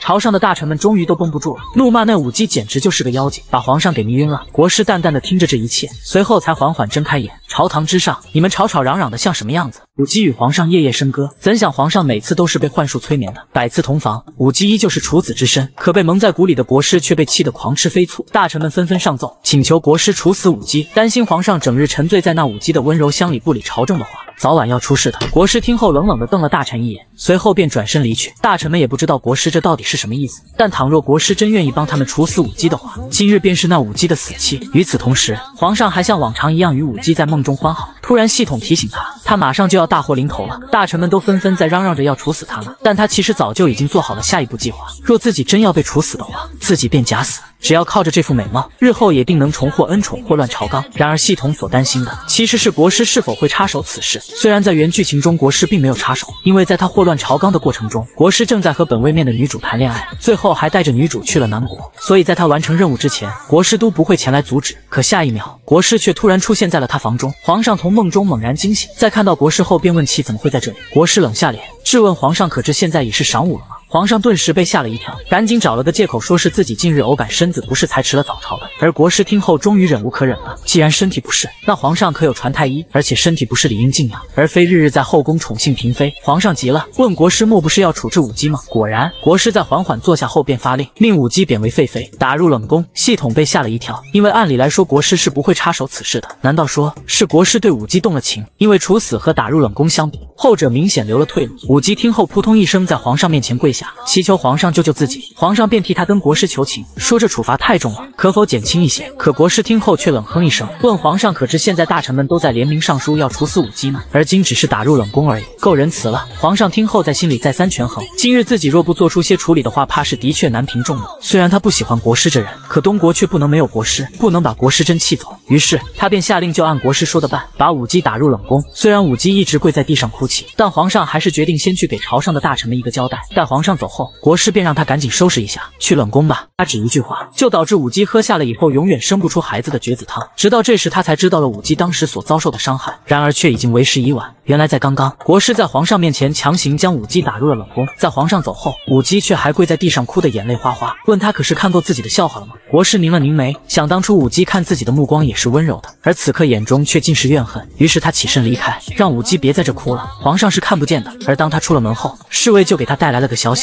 说武姬。自从进宫以来，其实并无异样，但在初次侍寝的次日，皇上就赐下了一碗绝子汤让武姬喝了。她听后一怔，心想避孕的方法明明那么多，皇上却选了这种对女人最绝情，却对本人最省力的法子。虽然让武姬服下绝子汤并非自己的本意，但一切却因自己的占卜而起。绝子汤于女子来说实在太过残忍，不论武姬日后是否想当母亲，此生都不会有属于自己的孩子。突然，她感到心脏输的一紧，一股强烈的愧疚感折腾着她的心，隐隐作痛。与此同时，房内的武姬拍了拍身上的灰，起身在心里问系统。本位面的男主国师大人怎么会突然杀出来干预剧情呢？系统意味深长的回复他，说是剧情歪了，但还没有歪得很彻底，因为国师动了情却还不自知。他奇怪，问系统不是判断自己若以这种恶心做作的神态去勾引国师的话，国师肯定是不会喜欢上自己的吗？而这问题系统也不知道怎么回答，毕竟自从绑定了这个宿主后，剧情就经常歪。毕竟情感是这个世界上最复杂的东西，而且本位面的女主也不知道去哪了。看来他只能趁着男主国师大人还没察觉到已经喜欢上了自己之前，赶紧把反派任务完成，以免夜长梦多。而正当他躺下准备休息会时，跟随他从南国而来的两个贴身侍女就担心的迎了上来。他们三人同属一个组织，是被组织一起派到东国来执行祸乱朝纲任务的。碧玉问他，现在他被废了，任务该怎么继续进行下去呢？武姬眸子一瞥，表示自己会使法子重新获宠的，但现在需要一个内应代替自己陪在皇上身边。碧青一听视死如归的站了出来，表示自己愿意接下这个任务。虽然他知道若真跟了皇帝，未来的路就断了，但他们姑娘为了复仇，甚至都喝下了绝子汤，那自己有什么不敢的？武姬见后轻拍了拍他的肩膀，让他放心。自己会把躲避侍寝的法子传授于他的。等完成任务全身而退后，他依旧可以安心嫁人。随后，武姬便吩咐碧玉随自己一同去往冷宫，碧青则在自己走后去别的妃子那当值，尽量找到机会博得皇上的宠爱，助自己离开冷宫。接下来就看他们三人联手，共同乱了这东国。而次日在冷宫门前，皇上身边的徐公公居然来找到了武姬，不仅教了他一些冷宫生存的规矩，还给了他一大袋银子，助他在冷宫打点上下游。等公公走后，皇上身边的那些嫔妃们也来找上了他，嘲笑他好生可怜。虽然之前风光无限，如今却沦落的只能带着一个婢女站在荒凉的冷宫前。可武姬却对他们丝毫不予理会，拉着侍女一个大步就进了冷宫。面男主对女配感情升温，终于这时女主角登场了。女主是皇帝的第十个女儿，男主一直对她赞赏有加。可男主跟她话说到一半时，总会神思飘渺，然后满脑子想的全是女配的身影。而在刚刚，身为女配的武姬刚被男主国师打入了冷宫，妃子们纷纷前来笑话她，丽妃更是直接拦在了她跟前，对她嘲讽道：“怎地这么着急进冷宫啊？看见我们来了也不说句话吗？”武姬冷哼一声。若入冷宫的时辰迟了，你们承担得起吗？毕竟时辰迟了，可就约等于抗旨了。丽妃吃了个瘪，她还从没见过有人以进冷宫为荣，还如此理直气壮的人。时辰还早，妹妹不必着急进去，毕竟不知猴年马月才能出来，不如在这多欣赏下外面的风景。然而武姬却一脸高傲的回道：“外面的风景有何欣赏的？我都欣赏够了，甚至连你们未曾欣赏过的风景，我都欣赏过了。”这话让妃子们倍感羞辱。气一个芝麻大点的美人，居然敢在他们这些妃子面前大放厥词！你如今不过就是个被打入冷宫的弃妇而已，居然敢在本宫面前耀武扬威！哪怕你曾经受宠，那也只是曾经。可武姬却是一副气死人不偿命的样子。起码臣妾有过曾经，娘娘你有吗？这话无疑是戳中了丽妃的伤疤，毕竟她因性格不讨喜，一直不受宠。随后武姬就大步流星的进了冷宫，不知道的还以为她进的是皇家别院呢。而这冷宫果然是一片狼藉，甚至还有得了疯病的妃子们在院内掐来掐去。侍女碧玉刚拉开门，一股刺鼻的味道就混着灰尘冲了出来。碧玉说自己现在去给她铺被子，可她却拦住了碧玉，吩咐说用银子让外面的人进来打扫。碧玉抱着银子规劝道：“说这些地方自己来打扫就好了，这些银子不多，要省着点花。”然而她却意味深长的笑了笑，说不用，在这些。银子花完钱，他们肯定能出去的。与此同时，在御花园内，一位身穿华服的女子正在池塘边喂鱼。侍女前来禀报说，那南国武姬已被打入冷宫。毕竟当初居然在宫宴上赤足献舞，不仅轻浮且不知羞耻，也难怪现在落得个潦草的结局。突然，女子厉声打断，训斥侍女不得妄议他人。毕竟武姬也曾是父皇的妃子，而这个女子便是东国皇帝的第十个女儿，十公主灵儿。侍女知错。恰好这时，国师从不远处路过，见了这幕，国师对十公主赞赏有加，不仅为人单纯，还知分寸。甚好。突然，他的侍卫小声跟他汇报，说不平已经送去冷宫交给武姬了。他点了点头，思绪又开始游离回了武姬身上。他记得当初是自己亲自接武姬入的宫，如今也是自己亲手将武姬送入冷宫的。而侍卫见国师这样子，便开始担心主子的精神状态了。想来近日主子实在是有些太关心给武姬送不平了。毕竟在从南国回东国的途中，武姬是如何勾引主子的，他可是全全程看得一清二楚。如今主子这般注意武姬，该不会是真被勾引到了吧？结果下一秒，国师竟突然吩咐他说，以后不必盯着武姬了。这令他松了口气，看来主子并没有喜欢上武姬。可事实上，是国师早已经察觉到近来自己心神不宁，皆因武姬而起。与其越盯越烦闷，不如干脆不盯。而七日后，就见侍女碧玉拿着饭盒，急匆匆地跑到了武姬跟前，说另一个侍女碧清已传来口信，三日前成了丽妃的宫女，且昨晚就得到了皇上的宠幸，用她的办法躲过侍寝，并未失身，现已被封为清美人。她听后连连叫好，感叹丽妃入宫多年不得宠，新收的宫女却成了皇上宠爱的美人。看来这回丽妃要饿死了。武姬为了逃离冷宫，竟自愿喝下了有毒的羹汤。虽然她早就料定国师会给她解毒，但却免不了要遭受病痛之苦。原来在刚刚，武姬所安排的侍女碧清已被皇上封为了清美人。碧玉在她面前直呼解气，有碧清在外面相助，他们定能出冷宫的。可她听后却拍了拍身上的尘土，表示其实只要让皇上见自己一面，就定然会舍不得自己的。现在差的只是一个出冷宫的契机。突然，碧玉发现今日送来的饭菜好像有些特别，其中有一碗羹汤香味十足。武姬接过羹汤，说这汤有毒，不过却吨吨吨的全干了，完全不顾碧玉的劝阻，因为这碗毒汤就是他刚才所说的离开这里的契机。虽然他不会解毒，但有人会替他解。就这样，他连着喝了半个月的毒汤，身体明显一日不如一日。而今日是毒发的日子，他知道出冷宫的时机要到了。在清美人碧清的安排下，碧玉顺利通过层层护卫，见到了刚下朝的皇上和国师。没一会儿，皇上和国师就来到了武姬跟前。皇上见了他这样子，心疼的要命，在床边祈求他睁开眼看看自己。可国师却将皇上拦开，说自己先给他把个脉，这样也好尽快医治。皇上听后乖巧的站到一边，国师则将一张白手绢附在武姬手腕上，开始把脉。说实话，见着武姬这样子，他也有些心疼。明明上一次见面还肆意的很，如今才进冷宫半个月，居然就变成了这副模样。而不一会儿，他便告诉皇上说武姬这是中毒了，此毒很是霸道，食用多了会暴毙。武姬就是因为日积月累且用量不少才会这样的。皇上听后大怒，即刻便打算吩咐人去查清楚。好好的冷宫怎会中毒？随后他又拉起国师的手，祈求国师不管用什么法子都一定要救救武姬。可国师却甩开手，提醒皇上注意军仪。看着床上满脸痛苦的武姬，他提议说要不让武姬出冷宫休养吧。皇上听后即刻打算抱武姬回殿，然而却又被国师拦住了，说武姬现在中毒太深，不宜移动，待自己为其施针清除些毒素再带走也不迟。他让皇上先回去照常处理政务，武姬不会有事的。至于中毒一事，皇上恐怕要好好查一查了。皇上听后依依不舍地看着床上的武姬，但还是听从国师的话离开了。等皇上走后，国师便吩咐碧玉去打一盆热水过来。随后，他从瓶中掏出了一颗解毒的药丸，将奄奄一息的武姬从床上扶起。虽然外面的人都在说武姬是妖精，可武姬现如今却中了如此深的毒，天下哪有这么蠢的妖精？他将药丸给武姬喂下，可手指却一个不小心擦到了武姬柔软的唇，这触感细腻微凉，令他顿时浑身燥热，就如同在山洞与武姬独处那时般，焦灼的心情如出一辙。国师在房内给武姬扎针，把武姬扎得连连喊疼，而且还时不时的传出几阵尖叫声。门外的侍女听得一愣一愣，还以为主子和国师在房里那啥呢。原来在刚刚，国师单独留在了房内给武姬驱毒疗伤。他将武姬翻了个身，紧接着便拉开了武姬的衣领，这还是他人生中头一次这么清楚的直视女子的后背，把他看得瞬间。脸红，于是他赶紧拉起被子稍微遮了遮，随后便开始施针。可没想到第一根针刚扎下，武姬就猛地醒了过来，看着身后的国师，他表现得更加虚弱，说自己从小就比常人怕疼。国师即将下针的手一怔，答应他接下来会轻一些的。结果武姬顿时就不满了，问国师明明能轻一些，那前几针为何不轻？难不成是在故意跟自己过不去吗？国师拧了拧眉，不想解释，但接下来的一针却稍微加重了些，因为这一针乃是驱毒的关键，下手不能轻。武姬被扎得连连喊疼，忙质问国师是不是故意。门外的侍女则听得一愣一愣，还以为主子和国师在房里那啥呢。待针扎的差差不多了后，国师便开始将针一根根的拔出，被针扎过的地方涌出黑血。他告诉武姬这是毒素，调养期间记得禁补，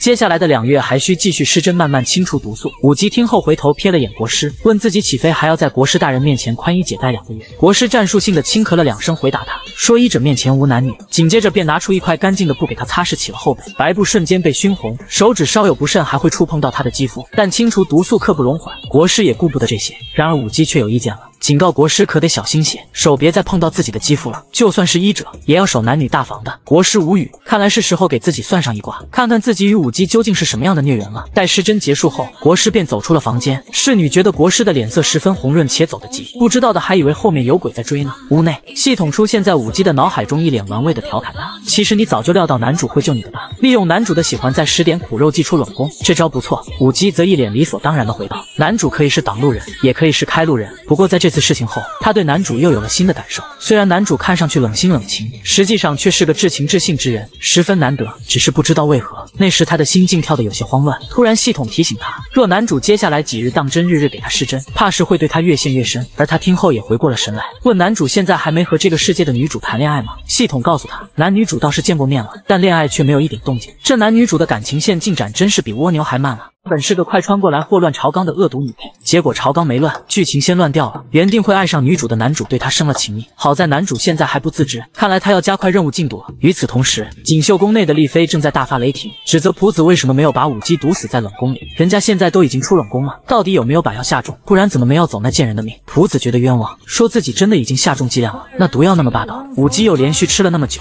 太医肯定无力回天的。然而事实上，武姬在国师的治疗下，身子已逐渐好转。他看着国师日日。在自己手臂上扎孔，问自己这胳膊若再这样扎下去还能看吗？国师告诉他，只要用上好的药膏，连续敷上几日，这些针孔便会消除。突然，他抬起自己的手掌，说起来，国师大人既会占卜，那可否给我看个手相，我后半生如何？而国师只是扫了一眼，就大致算出他是个孤苦无依、辗转飘零之人。可再仔细算下去，却发现他会浴火重生，命格变得福气顶天，但有短命之相，且可以确定他的短命之相因这座皇宫而起。于是国师在将针收回后，告诉他，你并非完全无福之人。可他听了这话后，却冷笑，并非无福，那便是有福气了。没想到在自己这已经拟定好的凄苦剧本里。还能被人算作有福，真是可笑。他有些生气，见国师既已给自己施好针，便开始赶人了。可国师却站在原地，一脸严肃地对他开口道：“你为何来东国？南国皇帝究竟派你来作甚？”本意他是想帮助武姬，既然武姬的短命之相与这座皇宫有关，兴许自己可以帮武姬度过这场劫难。可武姬显然误解了他的意思。国师大人，你这问的未免太过直接了。莫非你在怀疑我是细作吗？我只是因为长相太过貌美，所以被选中送来东国的，可不是自愿要来的。我没得选。国师听后逐渐向武姬靠近，可你的。命格和皇宫相克，不适合这里。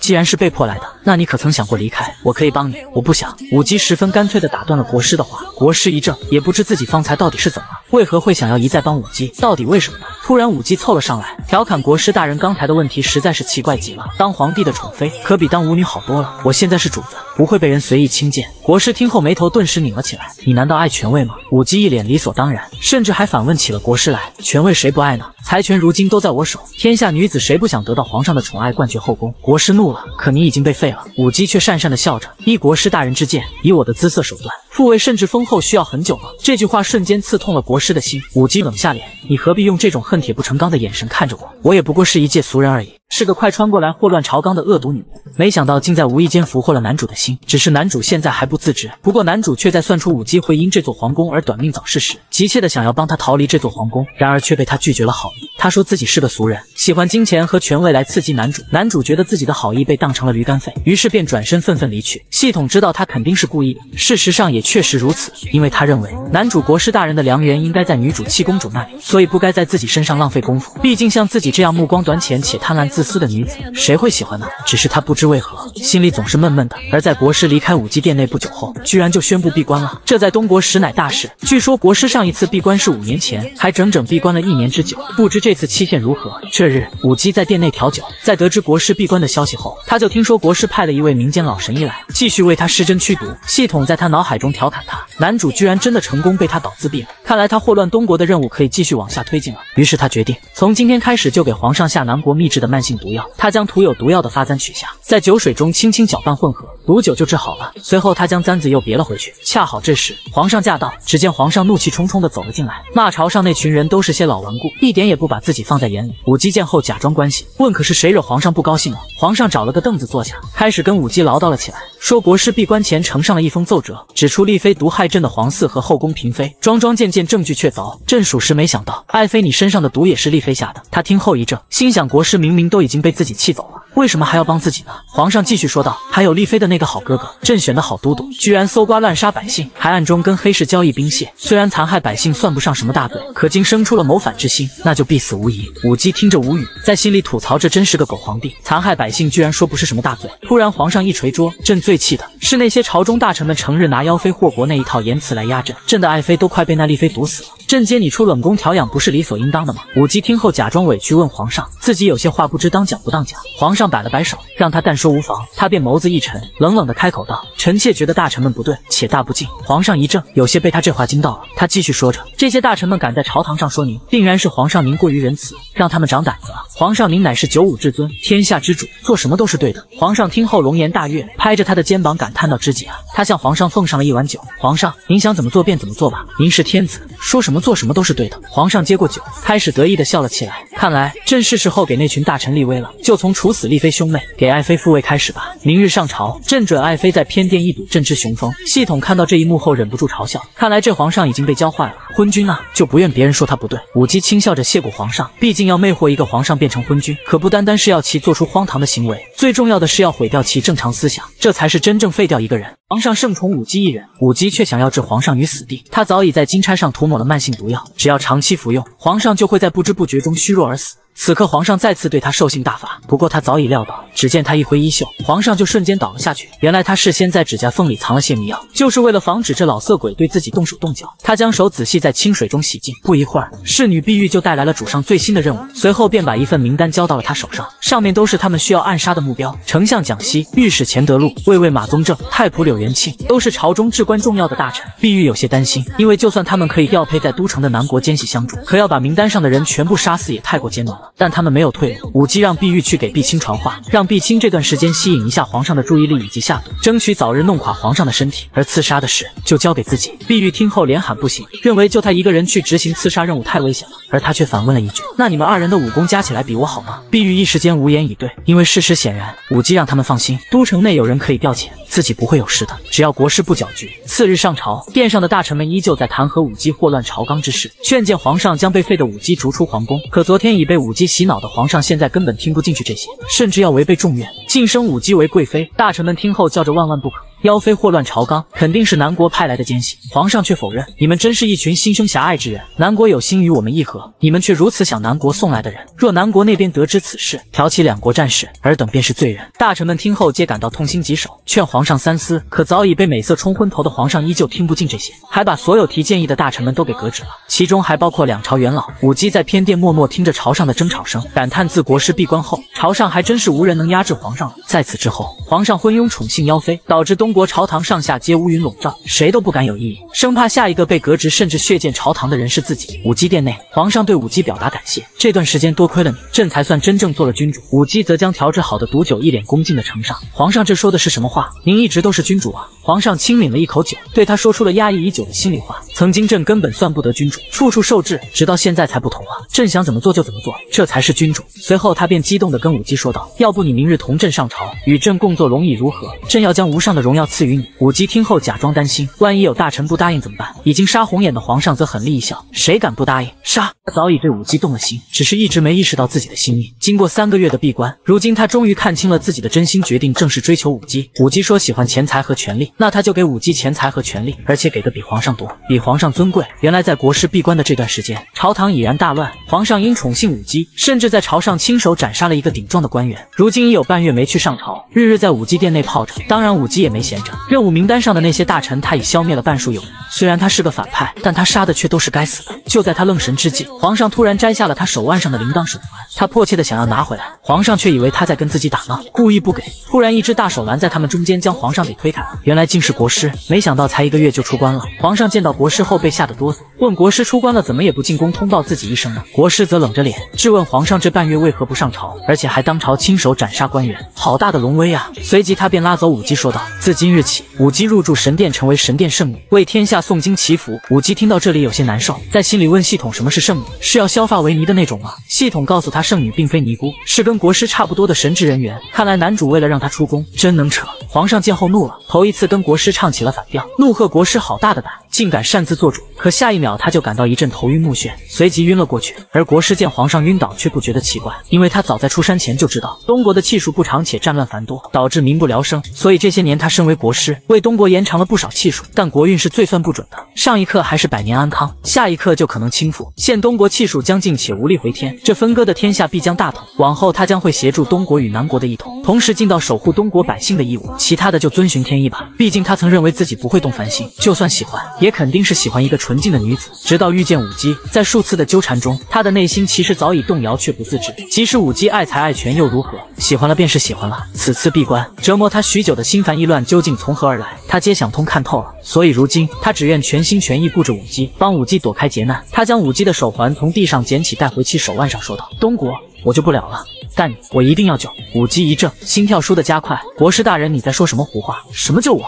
而下一秒，国师竟一把将他抱起。系统幸灾乐祸，说男主现在已经看清了对他的感情，他要再想气走男主可没那么容易。于是他将头上的金钗取下，抵在自己喉间，威胁道：“放开我，否则我以死明志。”国师劝道：“别冲动，你不是喜欢钱财和地位吗？圣女地位高于宠妃，甚至高于皇后。神殿的财产遍布天下，圣女皆可自由使用。你中意吗？”武姬无语，没想到国师竟把他当初那番故意气气人的话给听进去。罢了，眼下该想的应该是如何改变计划，照常完成反派任务。出宫未必不是件好事，反倒更方便刺杀。之前他住在皇宫里的时候，就经常要半夜跑出皇宫刺杀，再跑回来，几经波折，险些惊动了大内高手。若可以得到国师的信任，自由出入神殿，这样刺杀余下的几个大臣就能方便许多。至于继续给皇上下毒一事，就交给碧青。想罢，他将钗子别回了头上。罢了，我跟你走就是了。本该死无葬身之地，转眼竟被国师封为了圣女。明明之前还在冷宫受苦，如今却入住了豪华的神殿。国师带他参观完了整个地方，安排他以后就住在南院。系统听到这番话后不禁吐槽：国师对他还真是别有用心。南院离国师住的主院可仅仅只有一墙之隔呢。然而他却表示想自己挑选院子，不想住在南院。国师奇怪，说南院大且装修华丽，园里种满了花，有湖水还有亭子，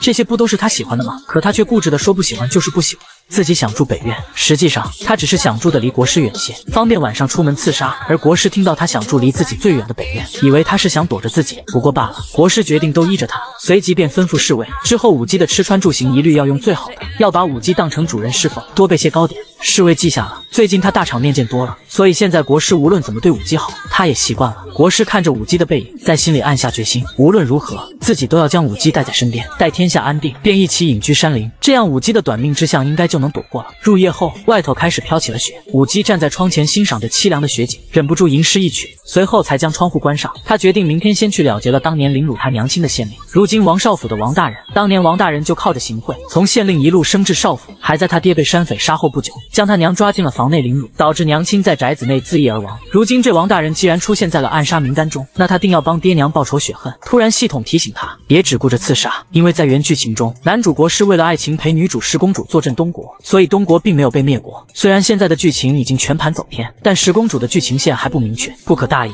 这时房门竟被敲响了，武姬打开门，原来是国师大人。国师说给他带来了夜宵，让小厨房做了烤鸡，然而他却一口回绝到不想吃。于是国师便邀请他去园子里赏雪。可他仍然回绝道不想傻，国师只好放下身段对他祈求道：“你对我有气也是应该的，你想如何出气，我愿意补过，只要你不生气。”武姬迈进一步，我怎敢有气呢？国师大人，你想多了，我不过就是想起了些往事，比如国师大人曾对我说过的一些话。退开五步，请自重，松开，滚，还不快下去！然后把我推倒在地，还。掐我脖子。国师听后尴尬的愣在原地，他却步步紧逼，拉起了国师的手。还有呢，你用剑划破了我的脖子，导致我的脖子上现在有一条很浅的痕迹。可如今，国师大人，你的行为举止都透露着一个信息，那就是你喜欢我，却为何不开口呢？国师瞬间脸红，闭上眼，强迫自己冷静下来。他曾以为自己与武姬肯定是永不相交的两个灵魂，后来才恍然发觉，其实自己很早之前就已经乱了心神，偏移了原本的路线，心甘情愿的与武姬交织在一起。武姬故意朝着他吹气，你知道吗？明明毫无干系，却对一个女人好到过线，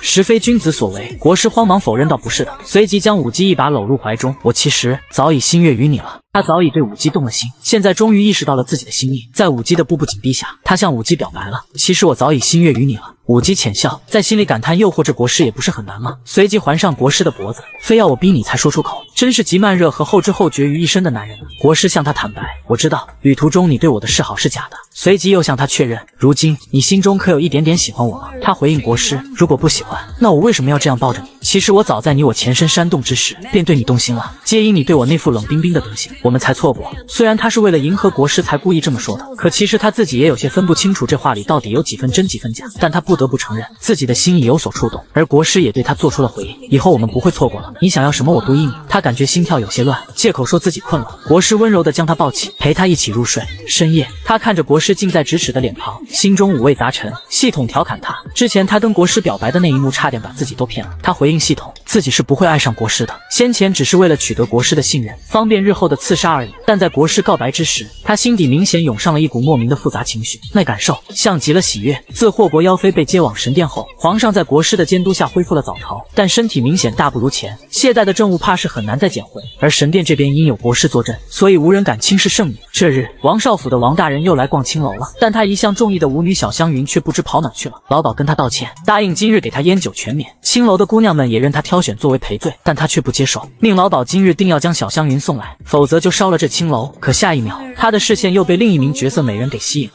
武姬拿着根小皮鞭对他诱惑道：“王大人，奴家虽不似小香云那般年幼，却有的是新鲜玩意儿伺候您。”王大人瞬间被他迷昏了头，让老鸨赶紧出去，别耽误自己享受良辰美景。当门一关，王大人便满脸期待地问武姬打算怎么玩。武姬笑了笑，劝王大人别急，先回答自己一个问题：当年您在任县令时，是否跟临县山匪勾结，杀害了当地的一个大善人，还玷污污了他的夫人呢？王大人听后被吓得哆嗦，心虚地问他究竟是谁。他自报家门：“我是他们的女儿，特来取你狗命。”下一秒，王大人便下了地狱去向他的父母赔罪。与此同时，另一边，国师的侍卫叩响了茶室的门，问武姬可否需要换一壶茶。然而里面却无人回应。侍女碧玉知道主子可能尚未完成任务归来，便找理由拖延时间，说主子应该是睡着了。可没想到下一秒，侍卫竟直接开门闯了进来。好在武姬此刻已经回到了茶室，假装淡定的回头问侍卫怎么冒冒失失的。其实侍卫是因被国师大人特意嘱咐过，要他近期务必看住武姬，不要让武姬独自外出。见武姬还在房内，他赶紧道歉：“我只是想为圣女您换一壶茶。”然敲门未应，怕您出事，故而推门直入，还请圣女恕罪。国师为了保护她，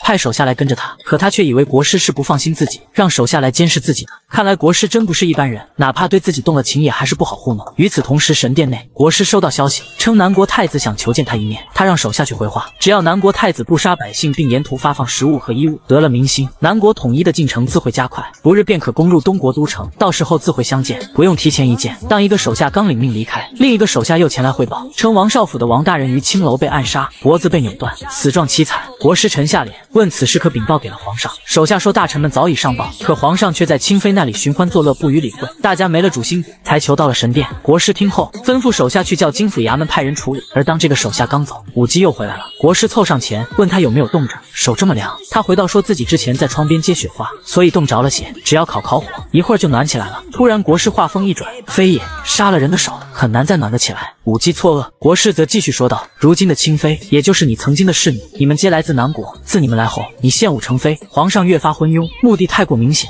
你是想乱了这东国吧？武姬反应了过来，甩开国师的手，冷冷的回道：你既已知晓，那你想如何处置我？国师叹了口气，我早已知晓你是南国细作，只是在等你主动告诉我。但这些都不重要，我想说的是，我会护着你的。国师的眸子尽显温柔，令武姬感到疑惑。你没觉得你现在就像昏君一样昏聩吗？难不成你也被我迷昏头了吗？没想到国师竟扑上来一把抱住了他。就算昏聩，我也是因你而昏聩。你要做，也只能做我一个人的妖妃。武姬挣扎着想要推开国师，国师则努力安抚着怀里的武姬。你听我说，东国气数将近已成定局，天下一统是天意，我没道理去阻止。我不揭发你，是因为我知道你不是妖妃。你杀的那些人，他们早已血债累累，你不收也自有天收。而忠臣良将，你一个未动。就比如之前被皇上革职告老还乡的李大人，皇上后来还欲暗杀他，你却派人护了他周全。今日跟你摊牌，是因为我上次占卜测出你有短命之相，如今看来，定然和你的刺杀任务有关。我需要知道你的任务，才能护住你。你呢？可信任我？武姬听后细细思索了片刻，既然自己有短命之相，看来是注定回不去南国了。他问国师：“我曾做过皇上的女人，还喝过绝子汤，今后再也不会有孩子，你可清楚吗？”他曾喝下绝子汤，此生无法有孩子。可国师却毫不介意，依然坚定的选择要跟他在在一起，哪怕乱了这东国，也要护他周全。今日一诺，此生必见。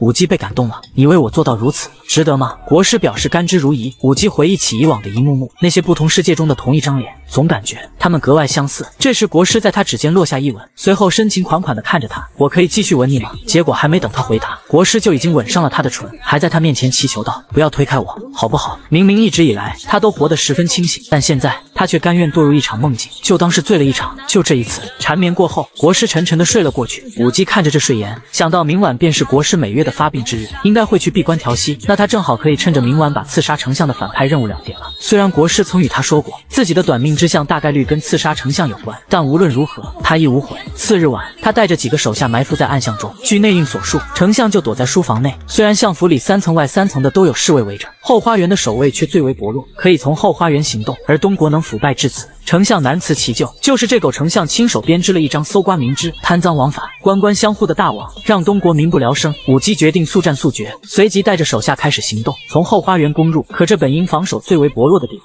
他们一落地却遭到包围。他立刻反应过来，内应叛变了，但现在却由不得他多想，必须快些行动。不一会儿，书房内的丞相刚松口气，屋顶上就突然落下一人。明明知道他是奸细，国师却还是想要护他周全，甚至在一年一次的闭关之日强行中断调戏，只为带他回来。原来在刚刚，武姬趁着国师的闭关之日，偷偷带着手下来了结狗丞相，不料竟中了丞相的圈套，被护卫围堵在院中。最后只剩他单枪匹马，一路杀进了丞相躲藏的书房。在踹开了最后一名护卫后，他的剑锋直指丞相的咽喉。可下一秒，他竟看到书案底下有一女童爬出，他瞬间分了神，因为女童脸上显现出的惊恐，像极了幼时躲在书案下听着家人被屠杀的他。这导致他错失了刺杀良机，被从地上爬起来的护卫划了一剑。系统急忙劝他离开，以后还有的是机会来刺杀的。可他却默默从身后又抽出了一把剑，再次跟护卫打了起来。护卫不敌，被他干趴下了。丞相害怕，把小孙女举到胸前替自己挡刀求情。小女童被吓晕了，他则更加气愤。没想到这狗丞相为了活命，竟无所不用其极。那就让自己来做这最后的罪人吧。说罢，他的剑绕过小女童，精准刺入了丞相的脖颈。丞相暴毙。可下一秒，一批新的护卫又冲了进来。现在他若想跑，恐怕也跑不掉了。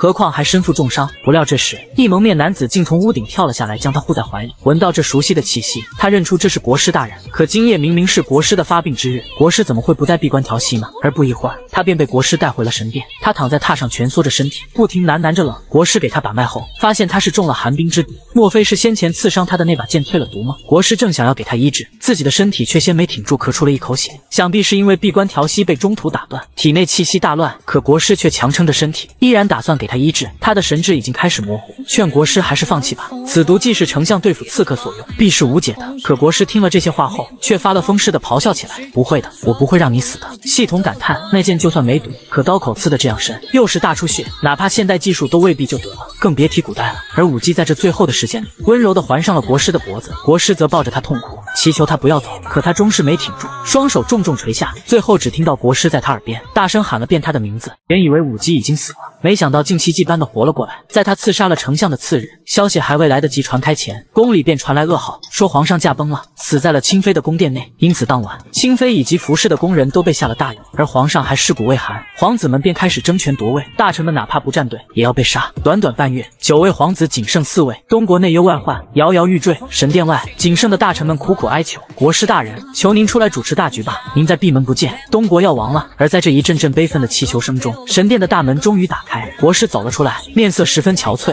东国的皇子们一心维权，不顾百姓生死，着实叫人心寒。明明百姓才是根本，国王了，无百姓之支持，他们登上了帝位又如何？东国气数已尽，无力回天，南国为主，天下太平，此乃天意。大臣们不解，问国师大人可否些许指示。国师反问周大人：身为臣子。责任为何？周大人迅速回道：为国为民。国师轻笑：那大人不是已经有答案了吗？自上次出关，我已将东国的腐败官员全部揪出，肃清了朝廷。在南国进城后，不仅会善待百姓及伏兵，也会善待余下的东国大臣，且安排尔等入职新朝廷。至于东国皇室，活下来的几个皇子将会被永久监禁，公主则继续住在深宫，享有曾有一样的地位。我能为东国做的，也只有这些了。大臣们纷纷叩拜，直到门缓缓关上，武姬坐着木轮椅迎了上来。我已经给仆人们都结清了月钱，也分发了盘缠，一竟遣散了。国师的脸上露出了笑意，侍卫前来通知，行李和马车都已经备齐了。国师嘱咐道：“到时候你潜入宫中救出碧青后，便护送碧青、碧玉两位姑娘归乡。往后是成家立业还是浪迹天涯，都随你。”碧玉听后擦了擦泪，武姬见了也嘱咐道：“往后你们便自由了，可以安定的生活，